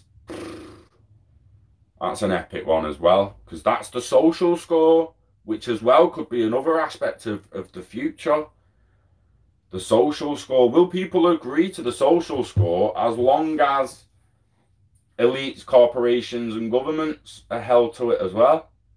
Like I'm saying, the credit rating. What what's fucking the UK's credit rating? What's the what's the America's credit rating? With a debt there, eh? Jesus, must be worse than mine. Got to be worse than mine. America's credit, surely. 21 trillion. That's what I'm saying. So compared to what they earn to what they're in debt, and the debt's still going up, surely their credit rating's worse than mine. But the Fed's like, yo, it don't matter. You're my homie. You're my homie.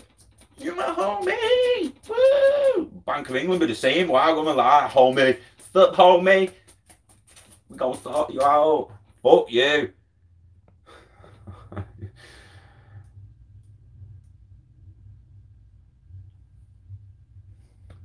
There's less carpal tunnels these days.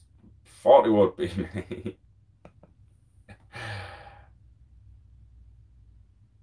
you know what? The, the Xbox pad always made my hands go funny. Like, my hand didn't like, like one thumb being up, pulling back, down like I didn't like it. It didn't fucking like it. Like, it don't mind pulling in across like that. Synchronicity around the toggles, but up there, it didn't like that one. Because that tendon there is going tight as fuck when you're pulling back. You get that on the Xbox pad constantly when you're pulling back, back. Every time you fucking go back, back, back, back. Fuck that used to get cramp on it. And I've never had an Xbox. That was just like being at my mates for fucking 90 minutes on the game. And I'm like, yo, can't even play FIFA anymore, mate. You're fucked it. Cause I can't I can't use the toggle where it is. And at that point, you didn't really like using the D-pad where that was. Because you wanted a fucking toggle there. Because I was used to a PlayStation pad.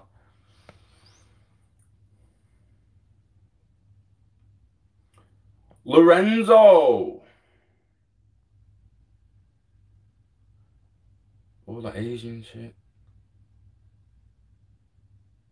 Diesel, yeah, dog. It's only cyber sex. It's only cyber sex. You're gonna hit your boys up easily in the future. Like, yo, boys, get this augmented shit on the go. Yeah, you, you dress as J Lo, though, mate. I don't want to see you as you.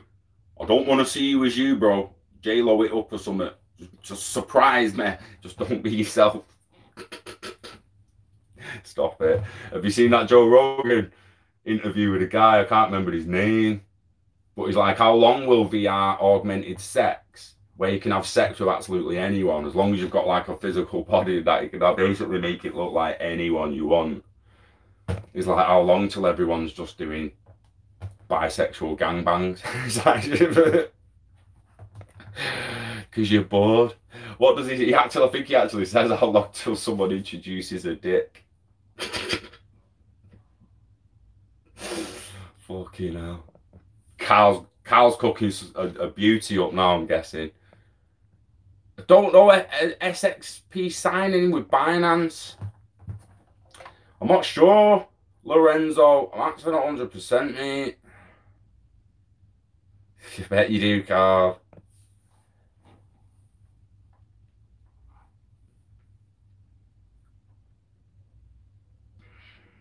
Let's have a little bit of ganders.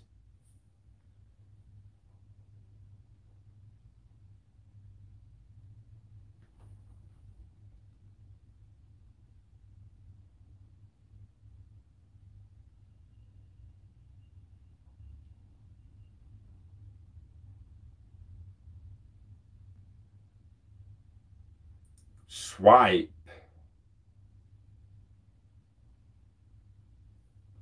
that what you've been meaning? Swipe.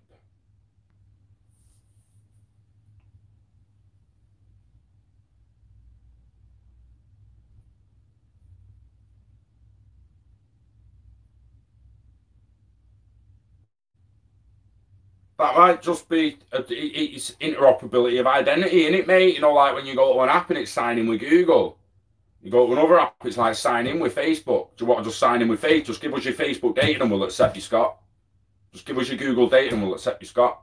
Just give us that email and we'll accept you that person. Interesting. Interesting.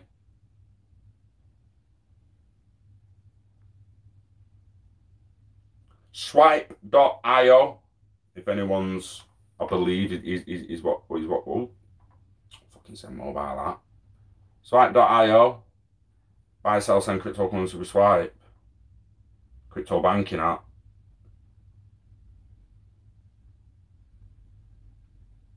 that the one?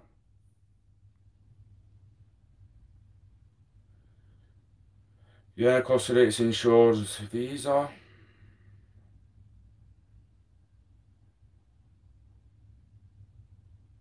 Yeah, virtual Agora. couldn't have said it better myself, mate. I couldn't have said it better myself. That is like uh a strange episode, wasn't it?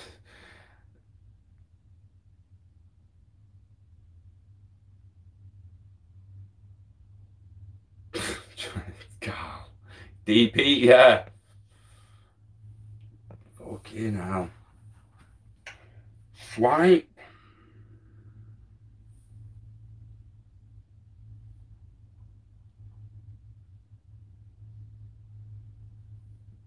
They do give a card. They have got a card. So they issued a card with a Visa partnership and bit like your Wirex card, Google Pay, Samsung Pay, Apple Pay. Get your swipe card, basically a Visa. In, interesting. Swipe token, SXP, is a utility-based cryptocurrency designed to be the gas and fuel of the Swipe network. Interesting. Buy SXP, Bittrex, BitHub, KuCoin. On Binance as well, I'm guessing. Don't say that on here, but or see more markets. It probably will on there.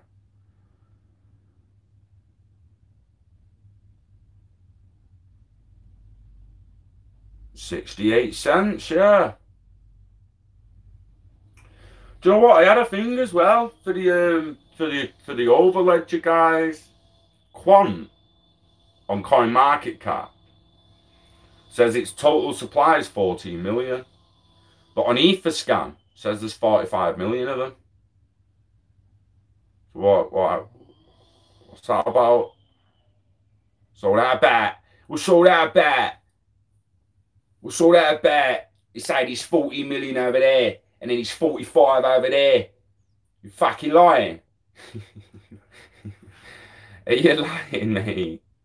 Like, which one's right? Is the total supply 14? Is Etherscan right? Because I'm mm-hmm. guessing Etherscan knows how many it distributed, i.e., 45 million of them. Coin Market Cap says the total supply is 14 million. Where, where's the other? Where's the other 31 million of them? Like, just wondering. Like, wondering who's got them. You know what I mean? Because it's quite a bit doled at considering current price. Got any bud to play to do? I have, you know. I just don't want to. Um, I'm, I'm just chilling. Don't really need one yet. I had one not long ago. What's a video on YouTube from a guy called George Gammon? Why you should be terrified. It's about how digital currency will work, but simplified explanation. He covers social scores, etc.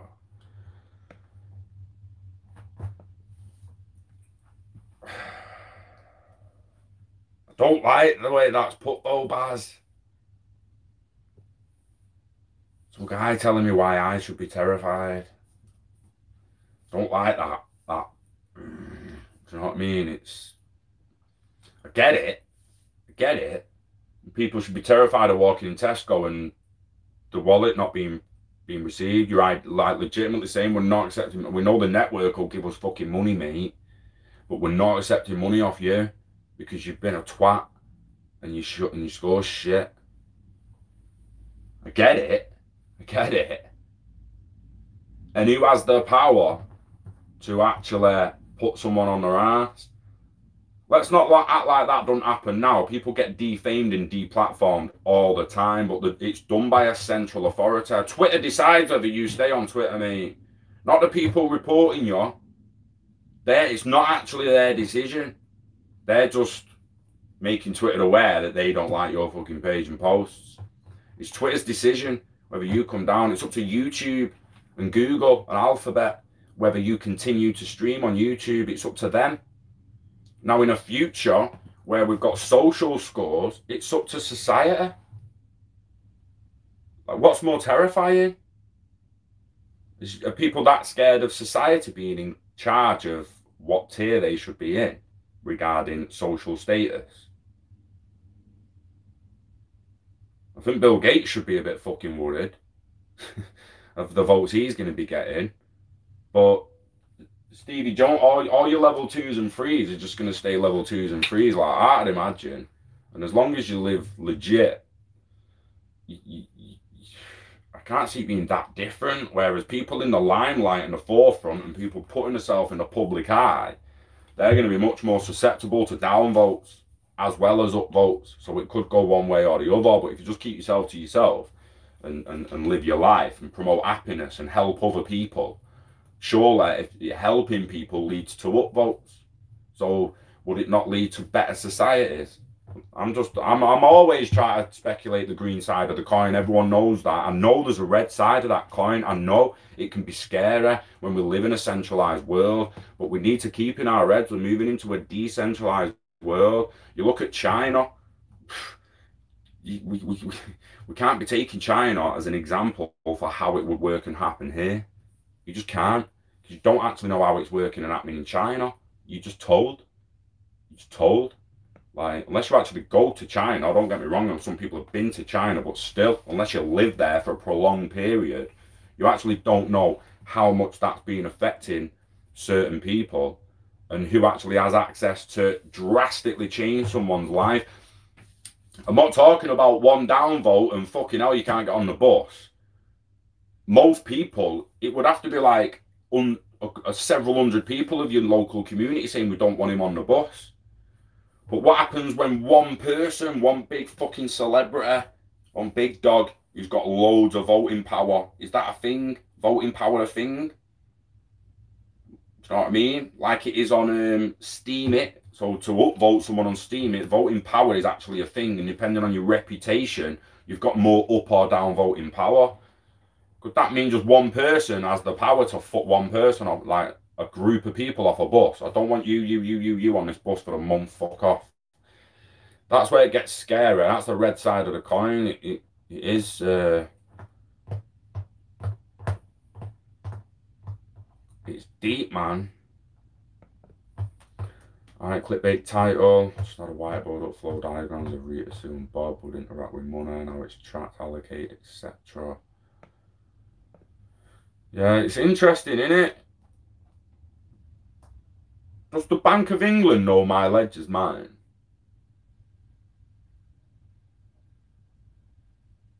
Or do they just know that Scott Pratt sends a load of money to that ledger? Or loads of value, should we say? And takes some out now and then to his KYC accounts. Does that prove that ledger's my ledger? I haven't been KYC'd by ledger, I just set a wallet up on the XRPL through one of their devices. Do you know what I mean? How, how did he prove that ledger's mine? It's always saying we're going to track it. Yeah, that's piece of piss tracking it for Halifax's ledger. But when it bounces in into four, that, that wallet's mine on the XRP ledger. Can anyone got the power to freeze a transaction through it? Any one person or entity?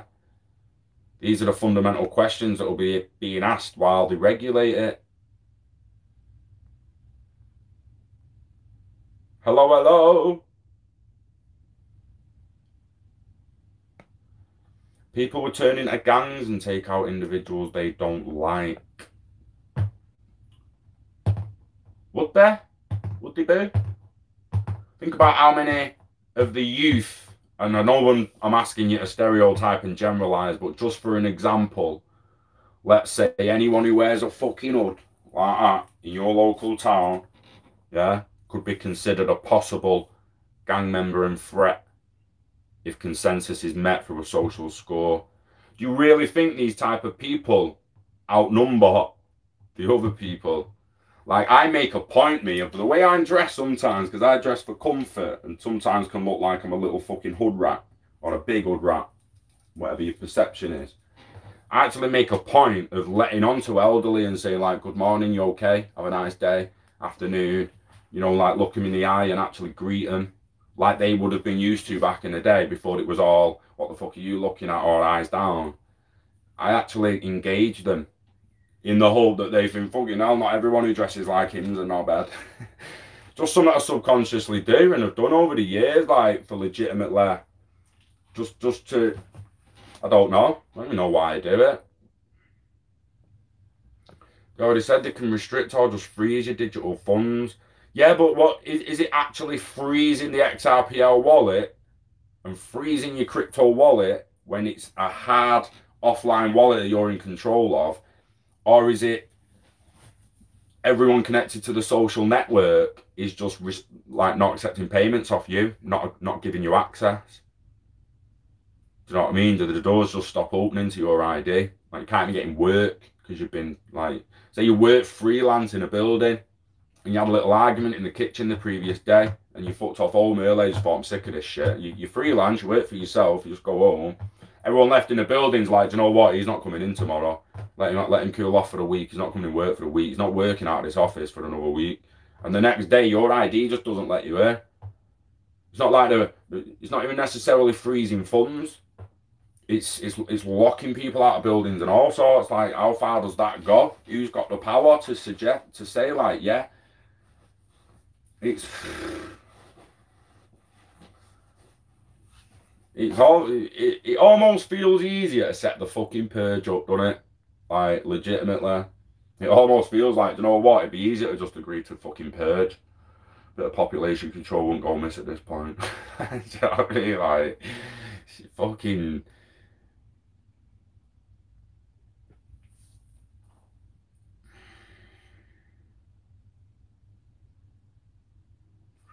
do you think if your score got that low, you, if your score got that low, would you not be in the sewers? You'd be the rat people, you're the rat burger people, the demolition man in it, I think. If your score got that low. So, Eric. Mornings.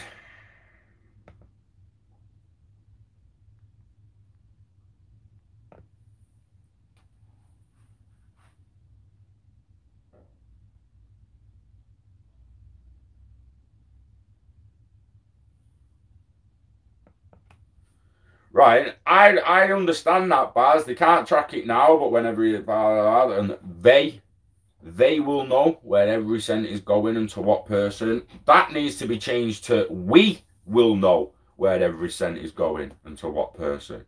We will know. The fucking world will know.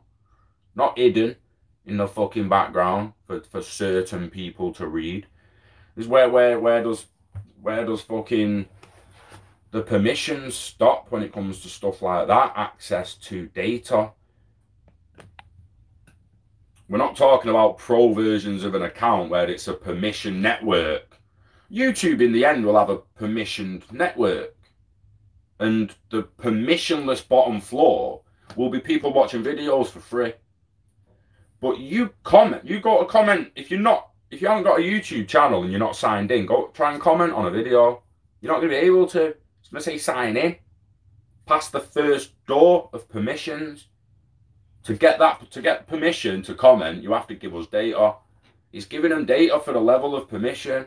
And then you've got memberships and all that shit that, that they've even got um, a shop partnership now where people of a certain level page can put items in the shop. So doing partnerships, so they already have permissions the partner program is a permission program when you reach a thousand subscribers and a certain amount of watch time, and then you have to maintain that to make to stay in the partner program.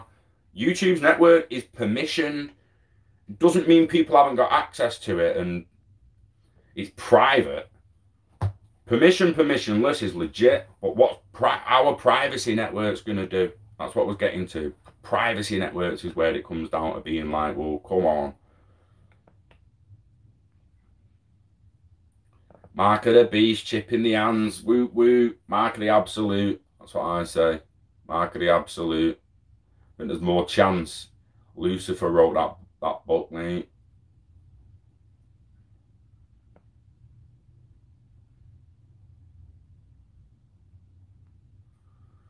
Gate patent 606060 ID 2020. Yeah, I'm fucking Come with all that, like it's, it's it's too much conspiracy and cold shit without it all just being torn down. It's all something my care. Australia government was tracking my crypto movements with an exchange. I had someone there and froze my crypto, but couldn't free wallet. That's what I mean. That like when you're on an exchange, they will be able to force exchange to, to freeze funds. I'm, I'm in no doubts about that. But when it's your wallet that you're in control of, who knows? Who knows? Have a good one, Lorenzo. Miss your comment then. Laters, pal. Be having a look at Swipe.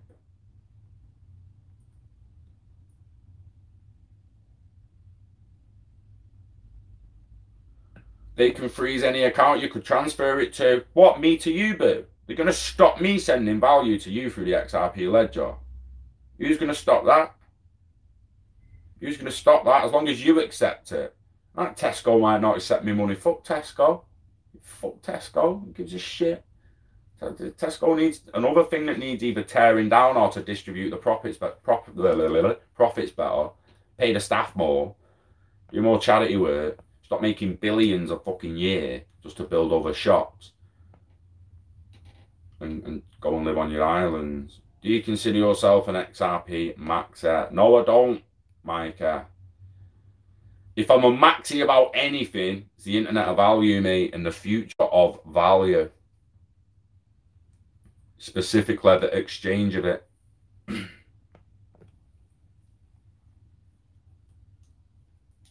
Bible is fictional. It is Diesel.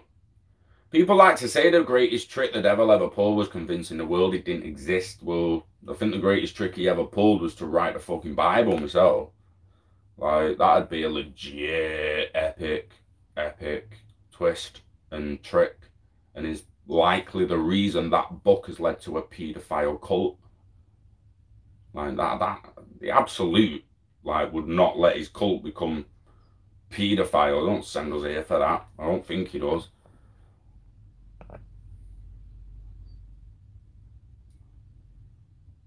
Interesting. So you actually use Monero and that, Tyson. That is very interesting. Because McAfee was saying he's big on Monero for privacy till he sorts his shit out. When we spoke to him, he, gave us, he, he said Monero, if you're going for privacy, choose Monero, but people need to be careful of, of, of holding in Monero. Pre-regulation because I say some people are not gonna not, not gonna like privacy networks.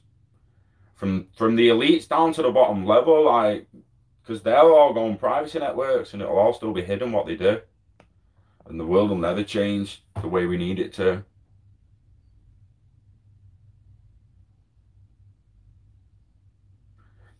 XRP validators, yes, they can. Collectively, when they consensusly make the decision, diesel. But I'm saying like one person up the fucking, like one one entity, not west, it, it, it becomes what they're freezing your funds for. Like people's people people's funds generally don't get frozen for nothing, guys. Talk about people that have done bad shit and have got a lot of money there, so it's like, yo, freeze that shit so we can't just get off and disappear. And now, even if they can't freeze it, they can somewhat track it. It's going to come to the privacy coins where the pedophiles and the human traffickers and all that are able to still do business. They're going to, privacy networks will empower black market trading on in a digital world. It just will.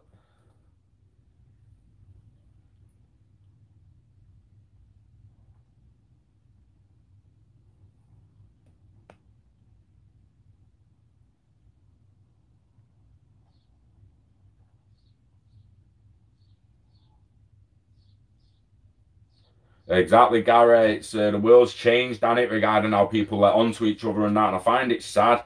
And I used to see the looks I got because of the way I dressed. I mean, I know I'm not exactly dressed smart. I don't. I've got my fucking harem pants on here now, for fuck's sake. I've got big baggy pants on, but I'm usually in a full tracksuit. Like, shitty, shitty Slazenger tracksuit, mate. Used to see the looks I used to get. So I'd be like, morning, you okay?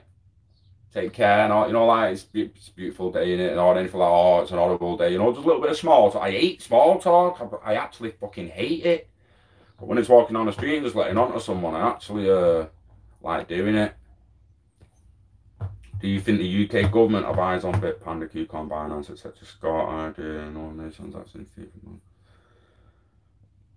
They something right. Well, the government again, right, can you tell me how the government's treasury works from the Bank of England to everything else? Is that transparent? If I was to look for that, can I find it? And if I can't, why not? It's government spending on our behalf. Why can't I track it and see it? And see what's in the treasury and all that stuff. And all they come out with a fucking chancellor and all that shit. And he's like, and it's like, right, well, show me the blockchain prove it. Just come out with your red briefcase, mate, and spiel a load of bullshit. Show me. Fucking show me. Let me view it. it, it blockchain Explorer on your fucking network, mate. And let's see where all these expenses are going and all that, and why you're all ending up millionaires when you're only on 75 grand a year. It's like, well, you're not you're not politicians that fucking long. Do you know what I mean? Why are you all ending up millionaires? What's going on? Track it, track it, track it. Oh, you want to know how much weed I'm buying? Well, there you fucking go. There it is, there it is. Now let me see yours. Shut the fuck up. There's everything I do. Show me yours. it's I don't think they'll go out. They'll, they'll use them for liquidity pools. If they don't start custody services of digital assets themselves, which I think at least commercial banks will do, the central banks and governments will lean on exchanges and order books of trusted, reliable, proven exchanges and order books to source liquidity between settlement. We got it on Bitrue, Micah. We bought it on Bit. We got it on Bitrue, mate. Our our, our bets on Bit Bitrue. Private blockchain websites. You hold the keys to your site. That's interesting, Stephen. That'd be a good blockchain to set up, mate. If you could set up an ERC20 token, write a white paper, and then hire developers. Boom, done. Like the developers then do your roadmap, and you, you you've got a blockchain and in development that your ERC20 token will then be migrated to. Come to DLT Con, we'll talk about it. We'll set that shit up. We'll do a decentralized Wix where you go on and build your websites, but decentralized, and all your communities become part, become nodes on your network and help maintain your network, building their own websites on on the network, and then it just becomes everyone's network. You create with a token, mate. You'll you'll you'll you'll make dough. Just um, just selling it, just letting it go out. Boom, boom. Don't need you don't need to suck it back in. Just just sell it. Let people work it for free, and just buy buy your, your token for for fees. An extra like competitions or anything like T Fuel and and Theta have done, offering um, currency through competitions. Gapping me start. Oh mate, I it was somewhere was like some Italian or some shit in somewhere. Is it Italian? Do Italians have gaps? I don't want to generalize. Uh, John, gap in the task. Is it a little bit more Mexican, a bit of Spanish or Italian? Yeah. You know, people who was pull must have had a, a, a, one of me older granddad like proper pulling his hair and then it just ripped it out. And we evolved without the air in the middle. You want to see it you think that's a fucking gap mate? You want to see it when it gets a little long? You shaved that seven days ago. It won it was about three days. Was it? I did say i'd leave it didn't i i've not shaved again yet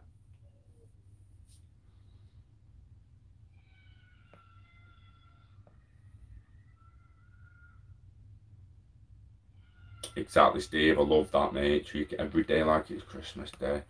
Said to him, I'm last night, like, humans have forgotten to be grateful they woke up. Like, a lot of humans live now like tomorrow's promised, making plans for, like, and it, not that it's bad to make plans, right? But there is a lot of people making plans for a week, six weeks, six months' time, and they're not really appreciating today.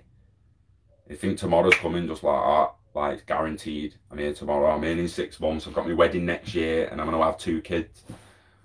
Okay, good luck. Yeah, you know it's, it's not guaranteed, man. I should be grateful your fucking eyes woke up and you could have some breakfast. And speaking of breakfast, I'm going for some soon.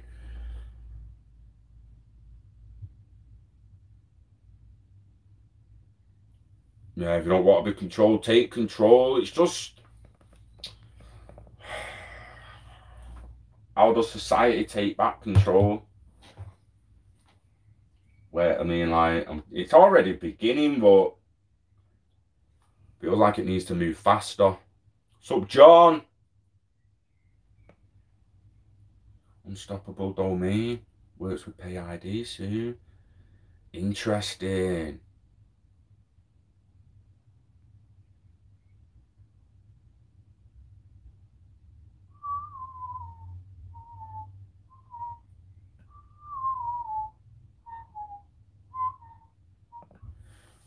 XRP validators, blacklist addresses for terrorists. It's like, will terrorists use XRP when Monero's there, really? Like, again, if they just build a little app, they're holding Monero, ILP API, obviously it can be tracked once it's come out of Monero. But why would they not just pay each other in Monero and then just drop Monero into like a, a standard account somewhere and then it's it's just untracked? It's interesting. Privacy coins, how private is it? You, you can see. So if someone passes, if a kid gets kidnapped, real talk, if a kid gets kidnapped, are you telling me there's going to be a privacy network where it's that fucking private, that kid can become a smart contract? The ownership of the child can then be passed through the private network to someone else on that network. He don't even take it out of the network, he just owns it on there and it's private as fuck. And then logistically, the child is also tracked from point A to B, all within the privacy network. No one knows, no one can, no, kids just gone. Like real talk, when I talk about chips and the future and all that, we're talking about kidnapping, rape, murder, kidnapping, paedophilia, child abduction, human trafficking. Do you know what I mean? Like, they're never going to end as long as we've got 100% private networks. Someone needs access at some point. Like, say, look, I need, something's clearly happening here. We need, we need some form of access. Laws being broken. You know what I mean? People being hurt. It's, um, morning OG. A lot of people think that, Tyson, that privacy coins will become illegal. But then the dark web's illegal, mate. Don't do fuck all to stop that, did they? Because all, all the Pizzagate motherfuckers passing their shit over that. But you give them a privacy network, they don't even need the dark web anymore. They've just got a private blockchain. Buzzing, aren't they? Where does the privacy end in a privacy network.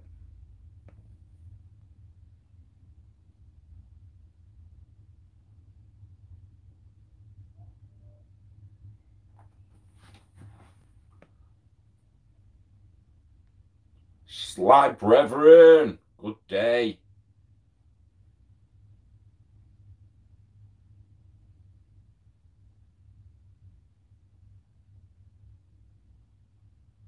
Yeah, we're, we if, we're so tracked and everything we do is becoming transparent, then I'm sorry, but I want to see what Boris Johnson spent his expenses on yesterday. I want to see what every single politician spent expenses on in the last 12 months. I want to see the fundamentals of how and why billionaires are allowed to tax evade while some of the lowest paid people in the world in the paid world like ah, I know there's poorer but you're talking like the, the the, the bottom the bottom end of people who earn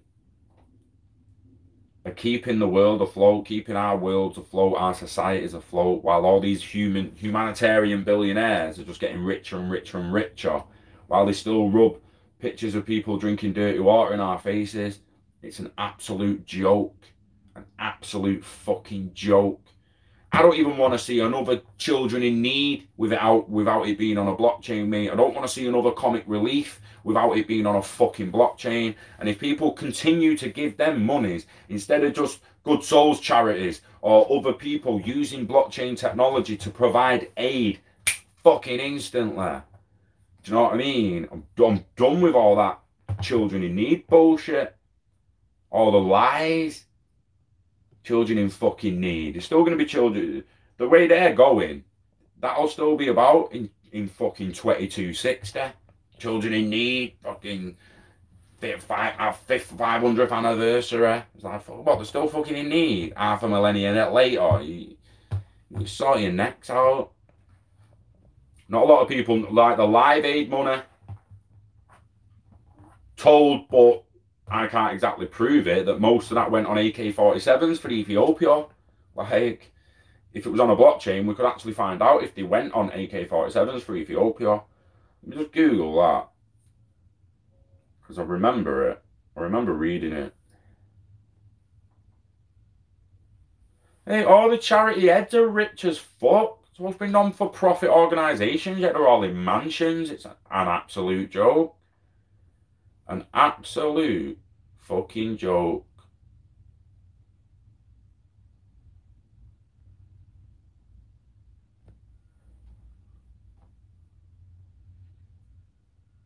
A lot of taxes really, really do need to be changed, though. That's the thing. Like, too many laws and taxes implemented on us. The interoperability of ID is what's needed for to, to push to push through voting and democracy through consensus.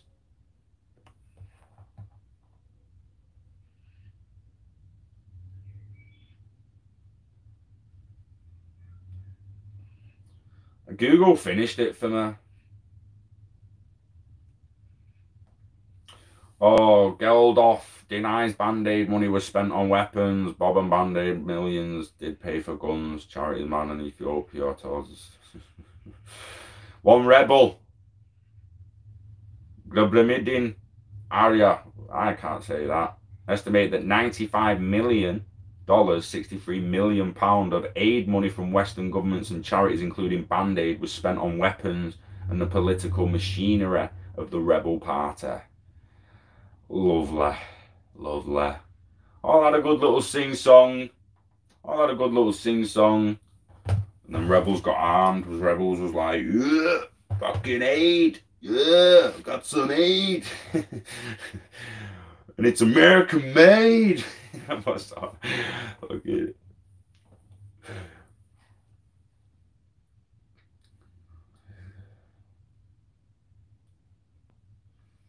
Exactly, I actually think, Baz, that specialised shit's going to come back. So the more machines do stuff, the more machines take over Greggs and cafes and make cappuccinos for us, someone somewhere is going to be like, fucking hell, I wish there was just fucking human cafes still. I wish there was still human run cafes. So that one person at home who actually still wants to run a fucking cafe, even though they got sacked by Greggs and they had this this dream to, to run their own cafe. Legitimately just needs to do a little bit of grinding in the new game. Get a little bit of value behind her. Do a fucking Kickstarter. You know, people are like, anyone out there want a human run cafe again? Help with me Kickstarter, get me first branch up and running, and then we're off from there. We'll do a decentralized system, and the more that the cafe makes, will open a second location, and third location, and fourth and fifth, and so on and so on and we can get people who actually want to make handmade cappuccino to serve cappuccino. And it'll come to the same to everything. Hand um, handmade chairs. Someone will be like fuck off well, handmade chairs. They don't make them like they fucking used to. All this fucking robot made shit. All this robot made shit. I want something made by a human again. And Dave's like oh there's a guy online you know. He's got Instagram and TikTok and that new flip flop one. Someone make an app called flip flop amount of quality and you, that, that you can just it incorporates every single social media into one app and you can just flip and flop between them. Get it made mate. Get it fucking made. We're up there. We're, up, we're, we're gonna pull that one out and get it stored up there. Lock it in the vault. Flip flop. Tiktok competitor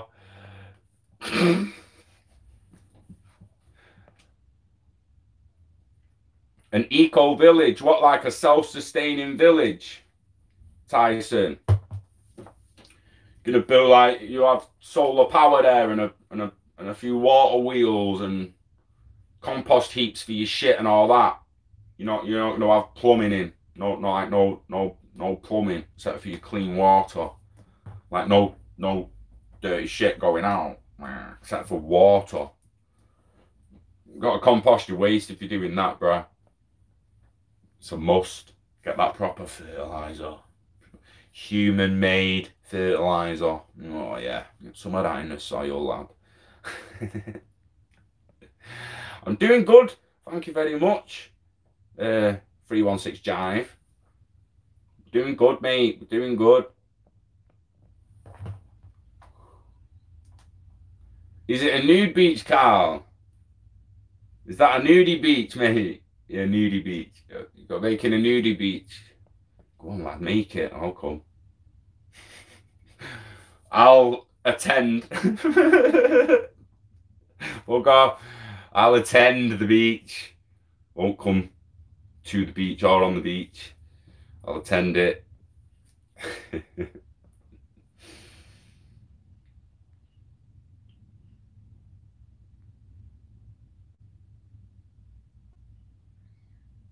What's a Portuguese breakfast, Alan? It's a Portuguese breakfast.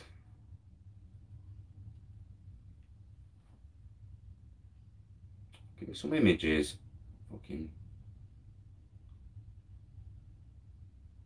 Yo, that's like a ham, ham and cheese toasties all round with eggs. Oh, what? Is that an ham and cheese and egg toaster?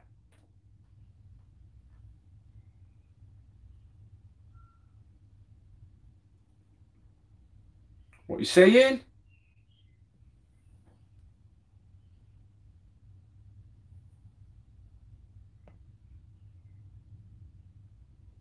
Deuce Bigalow.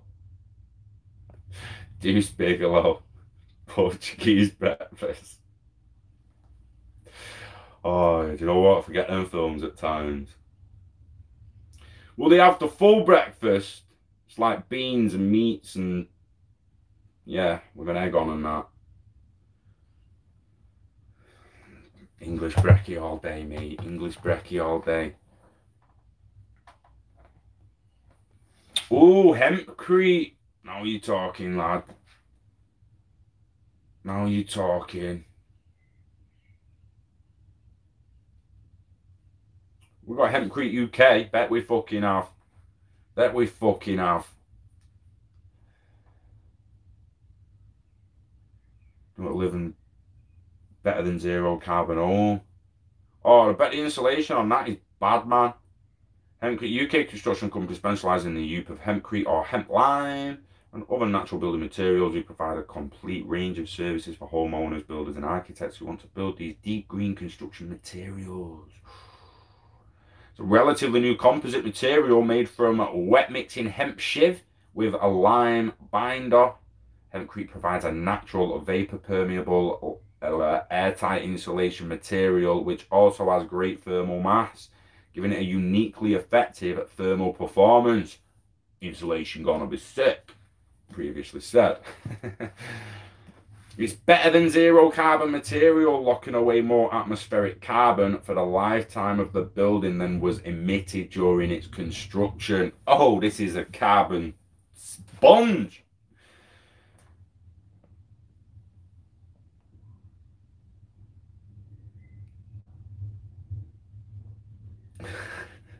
I don't think my mum will like that, mate. Maybe, maybe wait till I get a property, Baz, and then we're, we're good They appreciate it, mate. But I think my mum actually wants this. it's my mum's gaff, mate. Carl Lewis, Ben Johnson kicked your ass when he was a kid. Slack.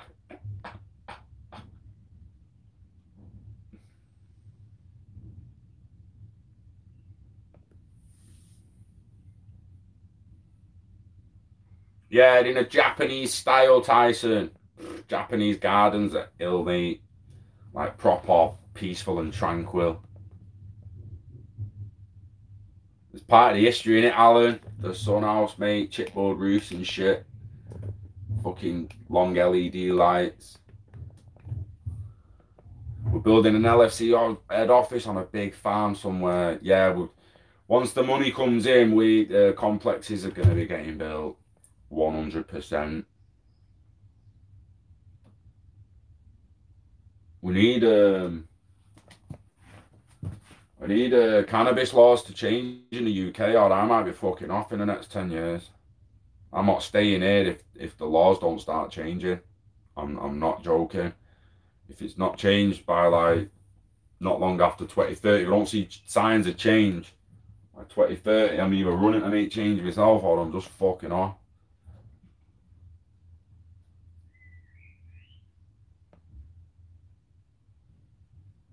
Boris Johnson.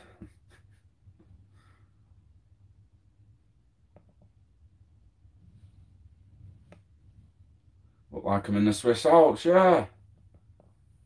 He's in being cute. I am. I'm. I'm sat in fucking mum's there getting getting a breakfast or some shit out of the garage. That's not being cute, lad. That's outside. In the garden of being cute. Not actually in being cute. We're in the garden and look, my mum. Look at my mum's just jacked the freezers. We're at Walmart.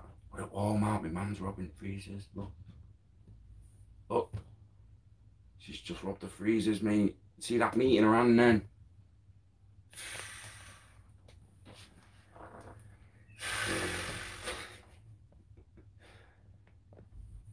Yeah, let's make a strain. I would make a, a couple based around how it helps me.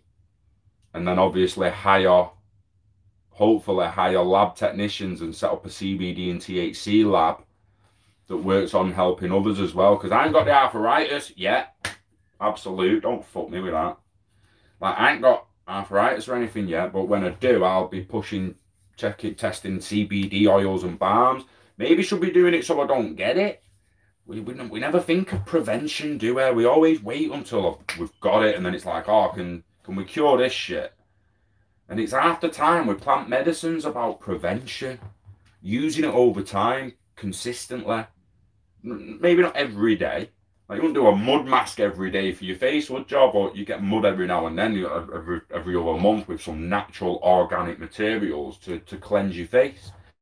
You do it now and then, and it's it's no different from the physical to the spiritual, really. And plant all plant medicine does is help it all. Helps the physical plants, cucumbers on the fucking eyes and all that shit because water. Do you know what I mean? Plants help from the physical to the spiritual. They're here for a reason, and it ain't just to fucking eat them. It's to smoke them. Can't joke. But yeah, it's to vaporize the motherfuckers and ingest the molecules in many different ways. Stop it. What? Whoa, slide. It's like nine acres, mate. How, how much to uh, Squeeze us an acre of that, mate. And offer me a job in writing so we can move there. what we uh we saying, lad? How much? What's the damage? What's the damage to the back of my throat, mate? nah, only joke. Nah, I actually, mate, I'm I am dying. If I get to choose where I die, it's either on the Mediterranean in the UK or in Canada. They are the, the free place, or, well, or space, four places. I always overlook space because we're actually not going there yet. But one space is a legitimate holiday destination for me. It'd be there as well. Canada's one of the places I would actually like to just log cabin side of a lake and just put the feet up, mate. In a couple of decades, not not you know maybe a few decades, maybe when I'm 75 ish, if I'm still healthy enough and still here.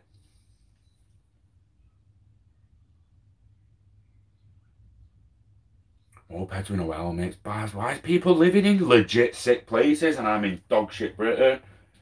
Controlled, oppressed and suppressed to fuck. Don't even pick a fucking mushroom and sell it, mate. Can't even pick a fucking mushroom and sell it. Foraging. Jesus fucking Christ. Need permission to do this here, need permission to do that there. Eh? I'm in England. England, mate. If I was Aussie, I'd be talking a little bit more like this, mate. You know? You're fucking mad, mate? Not from Australia. Sorry. Goes bad in the Aussie accent at times.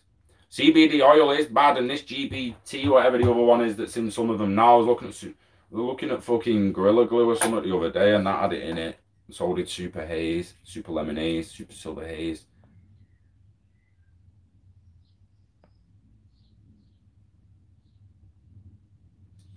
Alan, how do you even say that name, mate? I'm not even gonna try, mate. I'm not even gonna try and like. Whew. Oh, it's gonna sound so bad. Sound so bad, right? D I E I. You alright, mate? You alright? Right, mate? Daddy? Right? Join? Joinal? Joinal? Joinal? Like, I can't. I'm not gonna attempt that. Let me do it, man. Fucking Drenal. Drenal lean sex. Lean sex. Drenal lean sex. Drenal lean, lean sex? Drenal lean sex? Dren How do you say that? Someone sending me the audio of that fucking name. That's a, that, that's a legit name. I want that in my story so everyone's like, how the fuck hell you pronounce that? Actor, voice actors like, come on, bruh. Come on, mate. And I'm like, hey, it's a legit name now. Don't fuck about. We're doing cultures properly. Oh, that's fucking Hey, that's one. That's my Aboriginal fucking.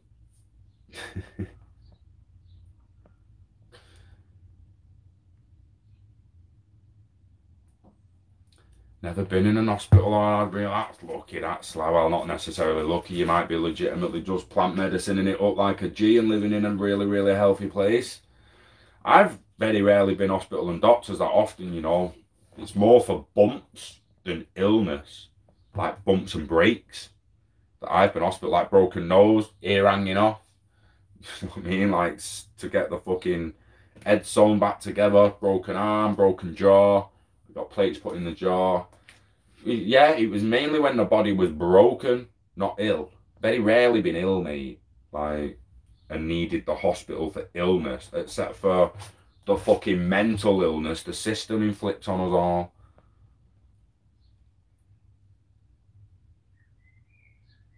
Interesting, Boo. Send me a link. Send me a link to them. Wouldn't mind looking at some of that.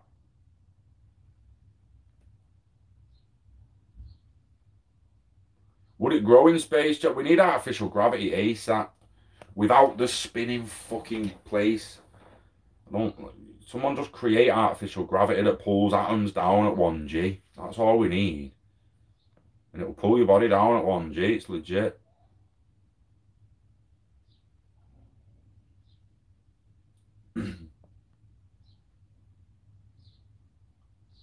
It's German. Oh, it's German. Damn, I can't do German. Fucking hell, mate. I, I can't say, I can't, I can't do German. Fucking einen gute Bitte schnell. I can't fucking do it. I just can't do German, mate. Damn. now I now I really I, I actually really don't want to try it now. I'm on, I'm on the I'm on the edge here. I'm on the fucking edge of what I can do in the spotlight here now. Shit. I'm fuck.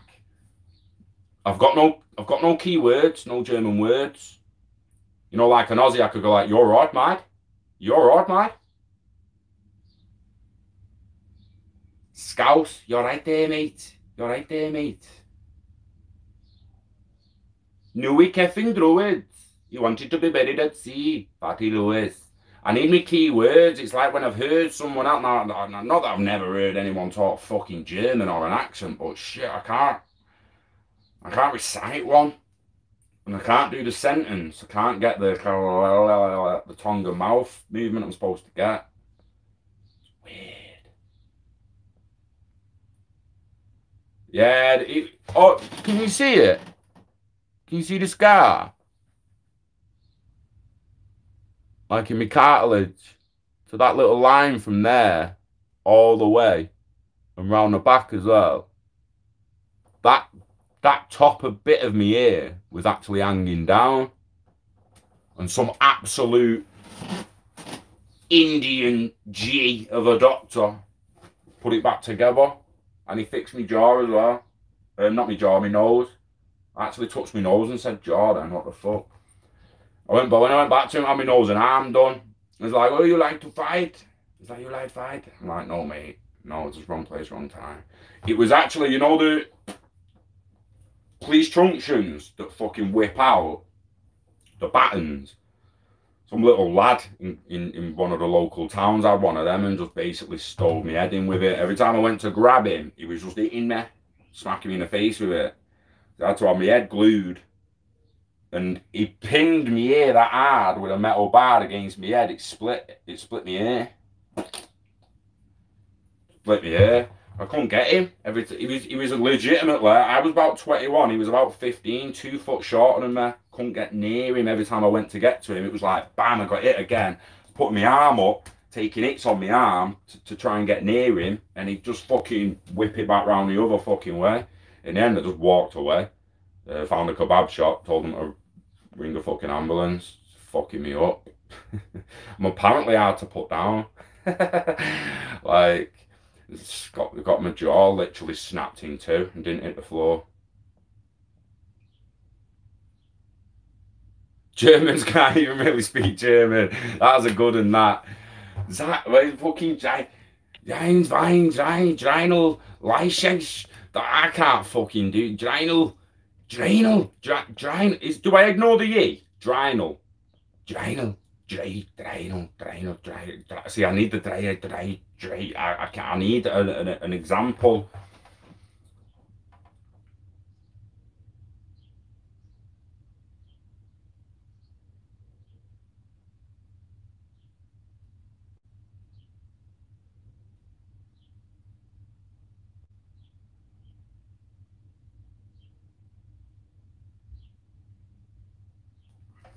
Going all out now.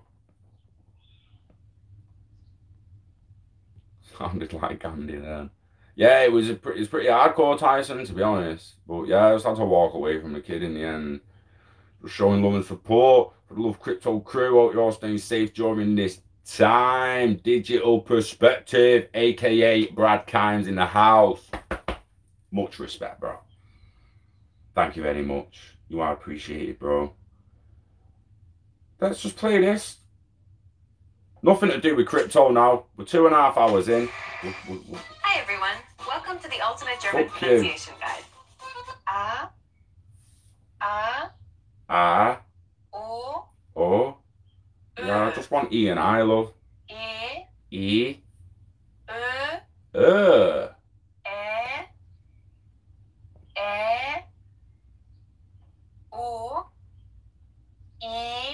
E. Yeah, you ain't helping. I want vowel sounds. I want fucking word sounds. Ah. Ah. The next vowel is Ah. Yeah, your shit, you love. Sorry.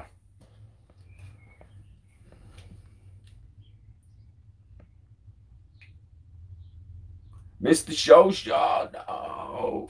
No. Oh, sorry, mate. Shit, I ain't it. Woke up late. Drynal Einsax. Drynal. Dre or dry. Drynal. Drynal Einsax. Drynal Einsax. Drynal Einsax. Sorry if I'm going a little bit aggressive with that German like accent. I'm apologies. That's your license plate. Nice. Nice.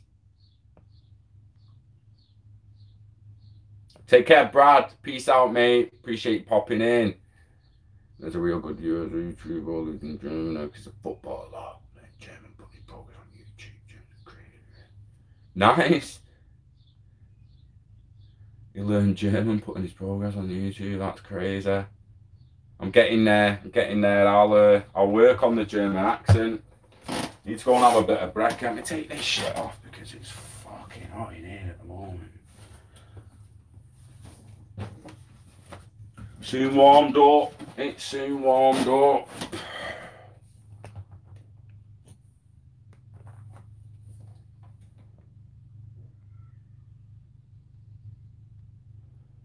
So, before I go,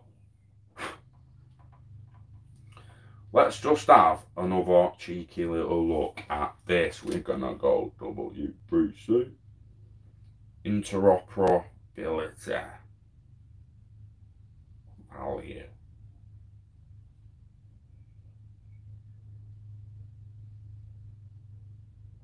Solution for IoT interoperability. World Wide Web Consortium.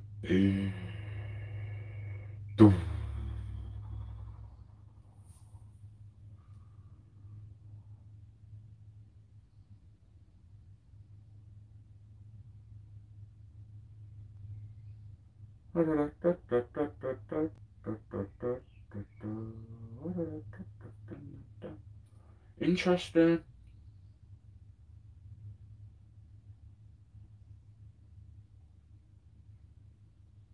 Node Red, man. You can do a lot on Node Red, you know. People shouldn't sleep on them little um, Raspberry Pi servers and Node Red. Because you can build your own Amazon Alexa with it. You like legitimately build your own Amazon Alexa with just a Raspberry Pi and Node Red Link to your network. Like your network is in your house, that's then your server controlling your lights and all that shit. So you set up the bots within Node Red to turn lights on and off at certain commands, to make payments at certain commands, to do everything for you at certain commands. So, you, so everything's kind of like took out of your hands because you've already give everything the permissions through the bots. Like the bots can hold your keys and that. So what I mean? So interesting. And people say, well, that's not very safe. But as long as your network's safe, your bots are safe, you, you, your AI's safe, your Alexa's safe, in it it's about the, the, the, safety of that's about the, the actual network safety, not the device safety.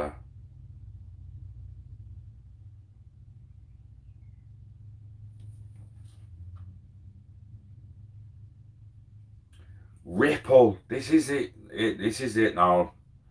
Back again to 2015. Promoting web standards and interoperability with the W3C five years ago Ripple Labs has joined the W3C Web Payments largest group, uh, interest group, sorry, as we continue our mission to enable the world to move money as easy as information moves on the web today.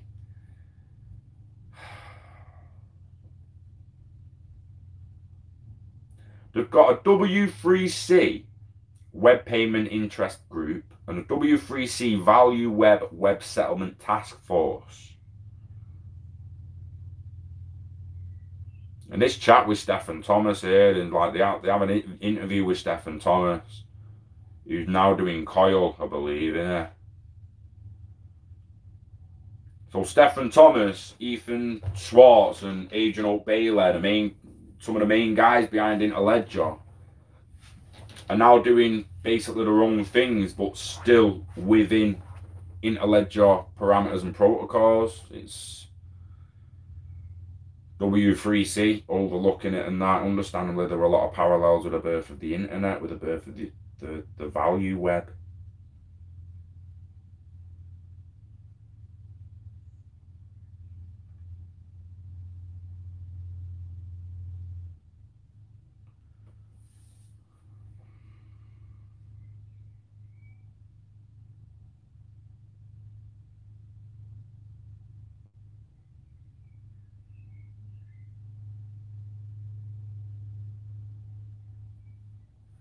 That 402 page is interesting, isn't it?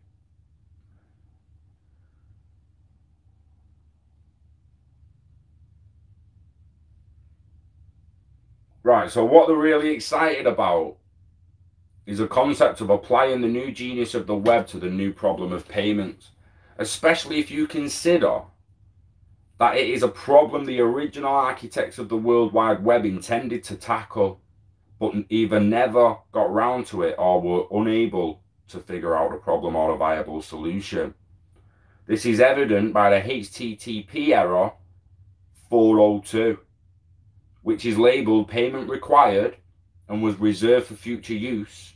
As we know, that functionality was never developed, and 25 years later, we have this once in a lifetime chance to settle unfinished business and complete the actual internet, bringing value into the mix as well as data on goods.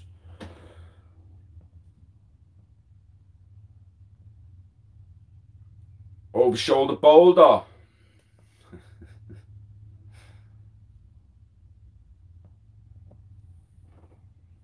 is that, is that, that, that stuff flop, flop, flopping? Flip flop app, mate. The flip flop app is going to be huge, mate. You wait for the white paper, bro. The flip flop app. It's going to be epic. Flip flopping between any social media you want, any network. Don't need overledger, you need flip flop, mate.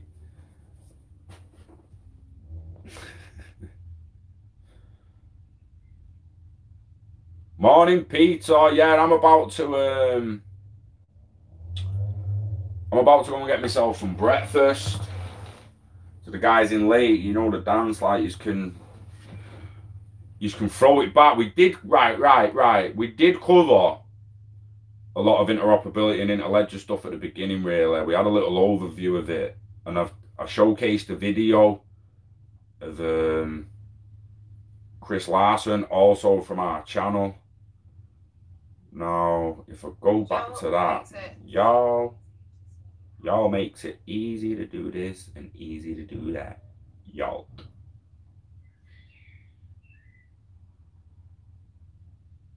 Can you can't even save comments out of the top chat, can you? Can you open? Can you?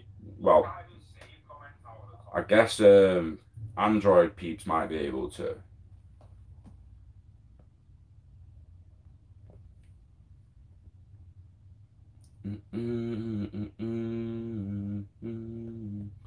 Like maybe be able to save that little comment there.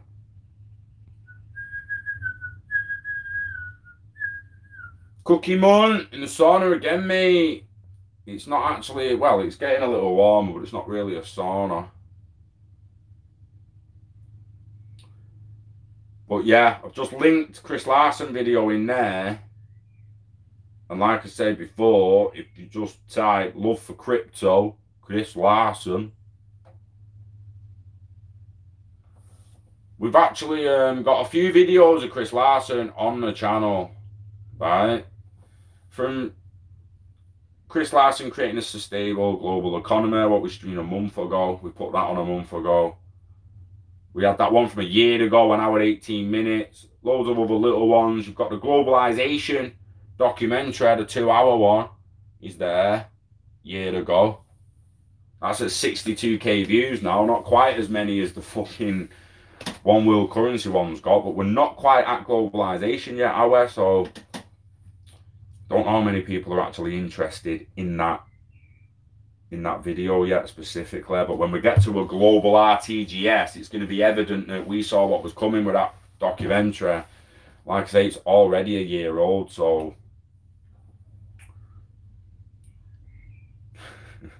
watch that george coming i'll have a look for it. Got loads of stuff in need to watch. People's telling me to watch videos of this quant treasurer to, to see what it's all about and that. It's finding time to watch it all, guys. There's only so many, only so many hours in a day. We can't watch it and cover it all. It's why we need to help each other out. Other people need to look at certain things and fucking help me out now and then. so I need a team again. The, the well, not that there's me and Boo at the moment, but we used to have a used to have a bigger team, and now We've got a smaller one, so it's what it is.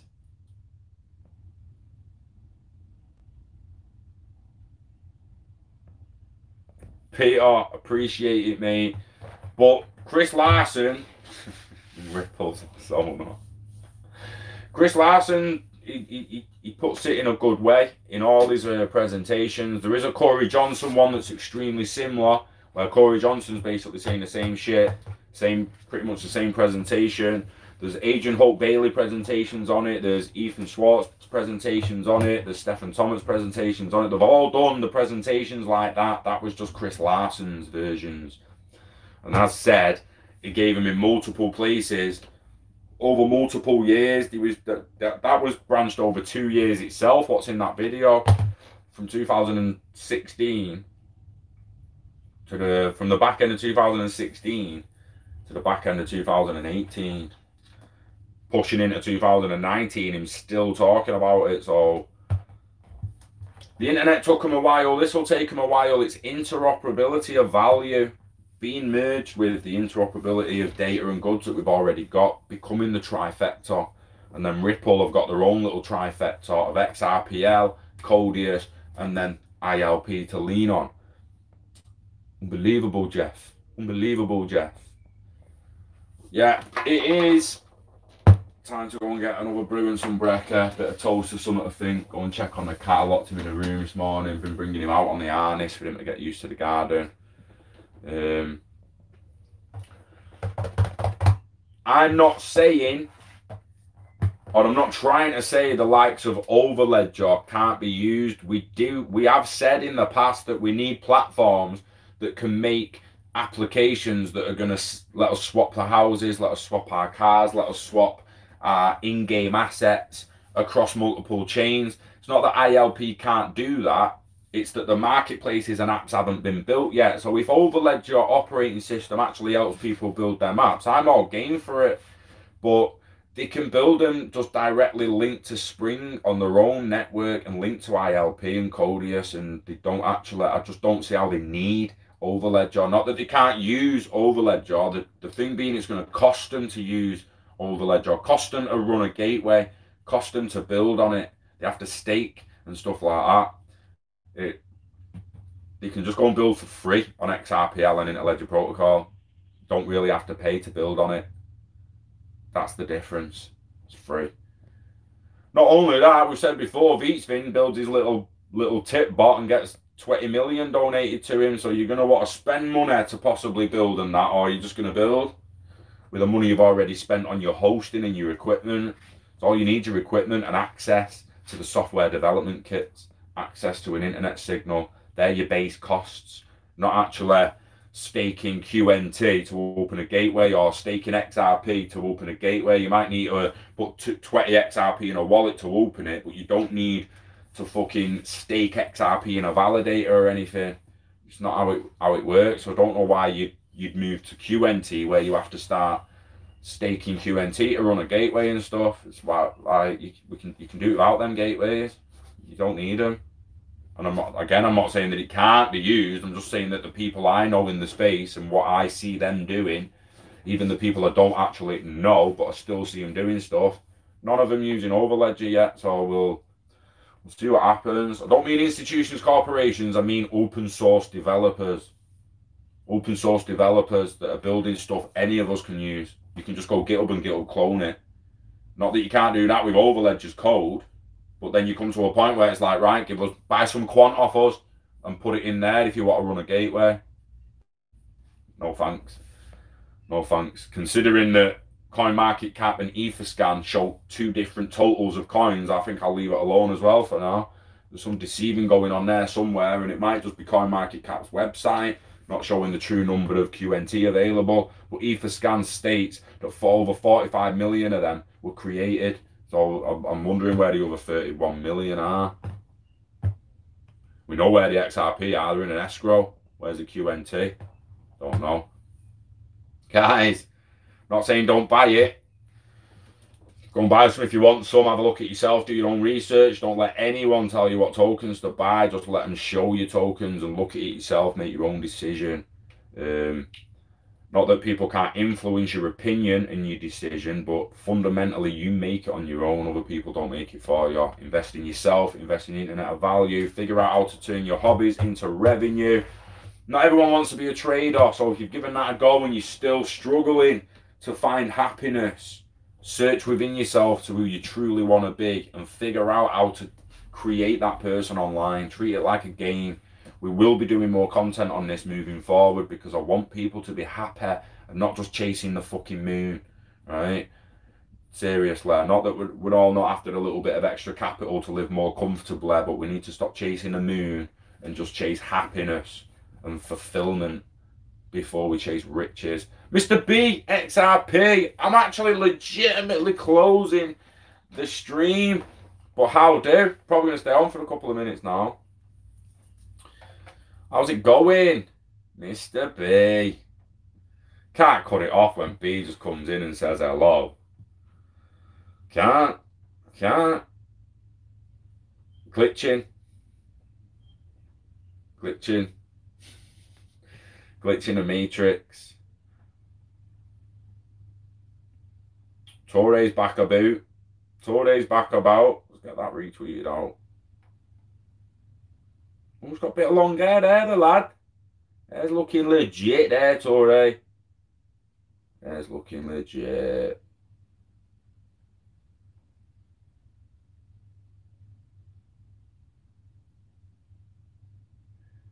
People straight on, so we're just going to let this guy come back and steal our money a third time. Wake up, everyone, he's a fraud. That's a person who's not even, I guarantee that person's almost not even give any money to Cryptonera or to Crypto Wizard. Two companies that are still there, by the way, still providing the service they originally promised, by the way. Yeah. Don't be that person, guys. Be the person that's dreaming of building their own shit. Getting out of this fucking machine, or at least creating your own little machine within the machine. It's got to be done. Doing well, thanks, Mr. B. I hope you're well too. Wishing health and happiness to you and yours, mate. You know the dance. I hope you're happy, mate. Looking at his Twitter, everyone follow Mr. BXRP on the Twitter.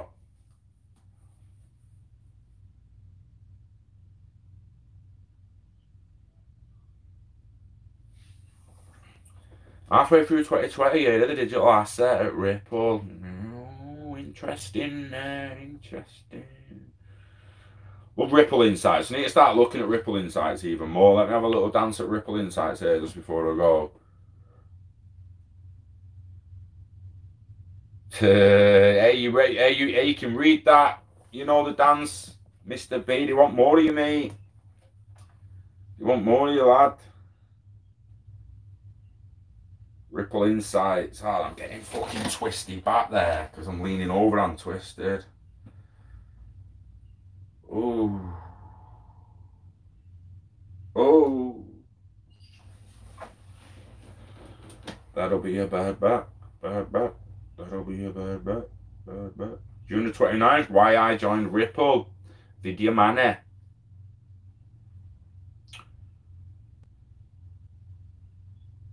Yeah, there's not been that much new. June 22nd, the Chief Bill or why real-time payments are more important than ever is probably the best recent read um, in recent weeks. That's June 22nd. Did we cover this? Did I read through this? Sometimes I, I some, talking about Mr. Bean, sometimes, mate, you do that like Carl, you, you forget what you've read to just yourself and what you've actually read in front of the camera at times. Like, yes, having a bit of exercise going. Good shit, that. It's all about exercise, all about activity levels. Remember, if you're not active enough, everything on the planet can be bad for you. Think about that. Everything. There's nothing on this planet that's good for you if you consume it too much while you're not while you're not active. Absolutely nothing. I don't care what you say.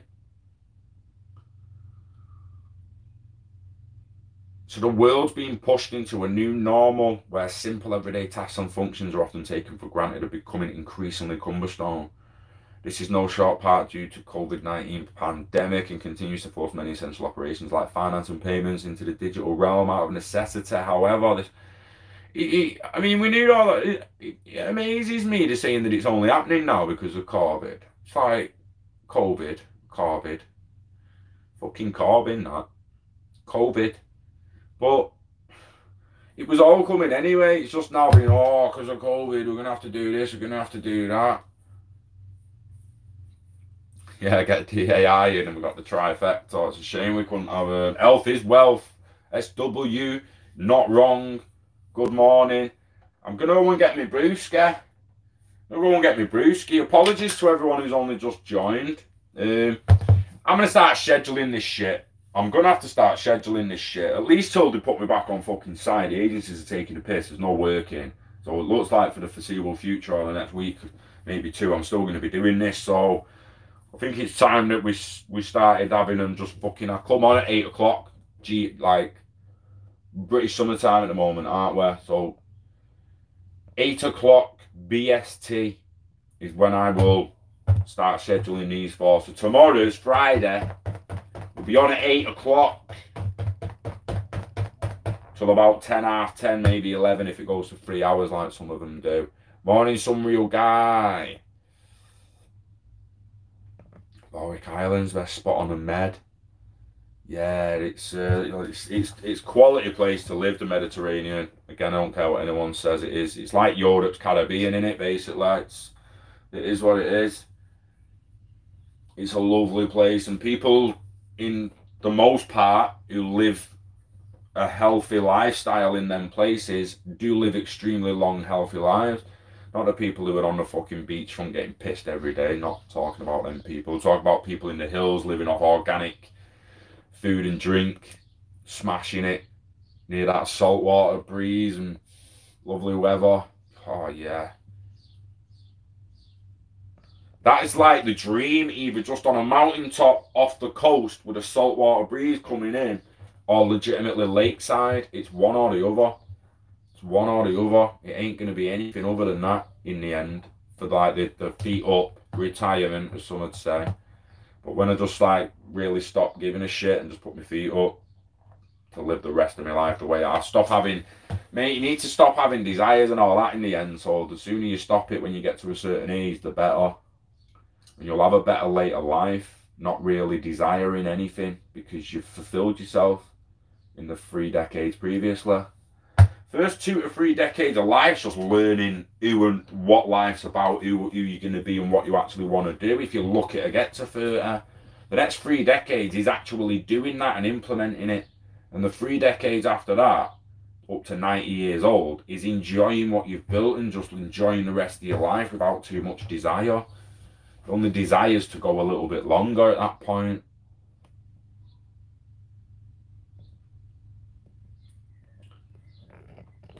Fucking reruns of everything there. It's been doing my fucking head in. Anyway, I appreciate every single one of you who came in the chat today. Thank you very much. Like we say, invest in yourself, internet of value, digital assets, your hobbies. Start a YouTube channel, start a Shopify shop, start flipping from garage sales on eBay. Start a flaming state channel. Carl, start a comedy channel, mate. Anything, anything just turn hobbies into revenue, guys. It's like legitimately hobbies into revenue and move forward. Them them them hobbies then turn in, can turn into fucking full on dreams becoming reality. They really can. And that's the reason we love crypto. We're loving XRP, ILP, Internet of Value, and every single one of you. Decide who you want to be. Get healthy, get happy, and at that point, you're not going to give a shit. You're not going to give a shit what's in your bank. As long as the bills are paid, you're happy, you're welfare. You, uh, what does it matter how many knots are in your bank? It fucking doesn't. Till the next one, guys. Laters.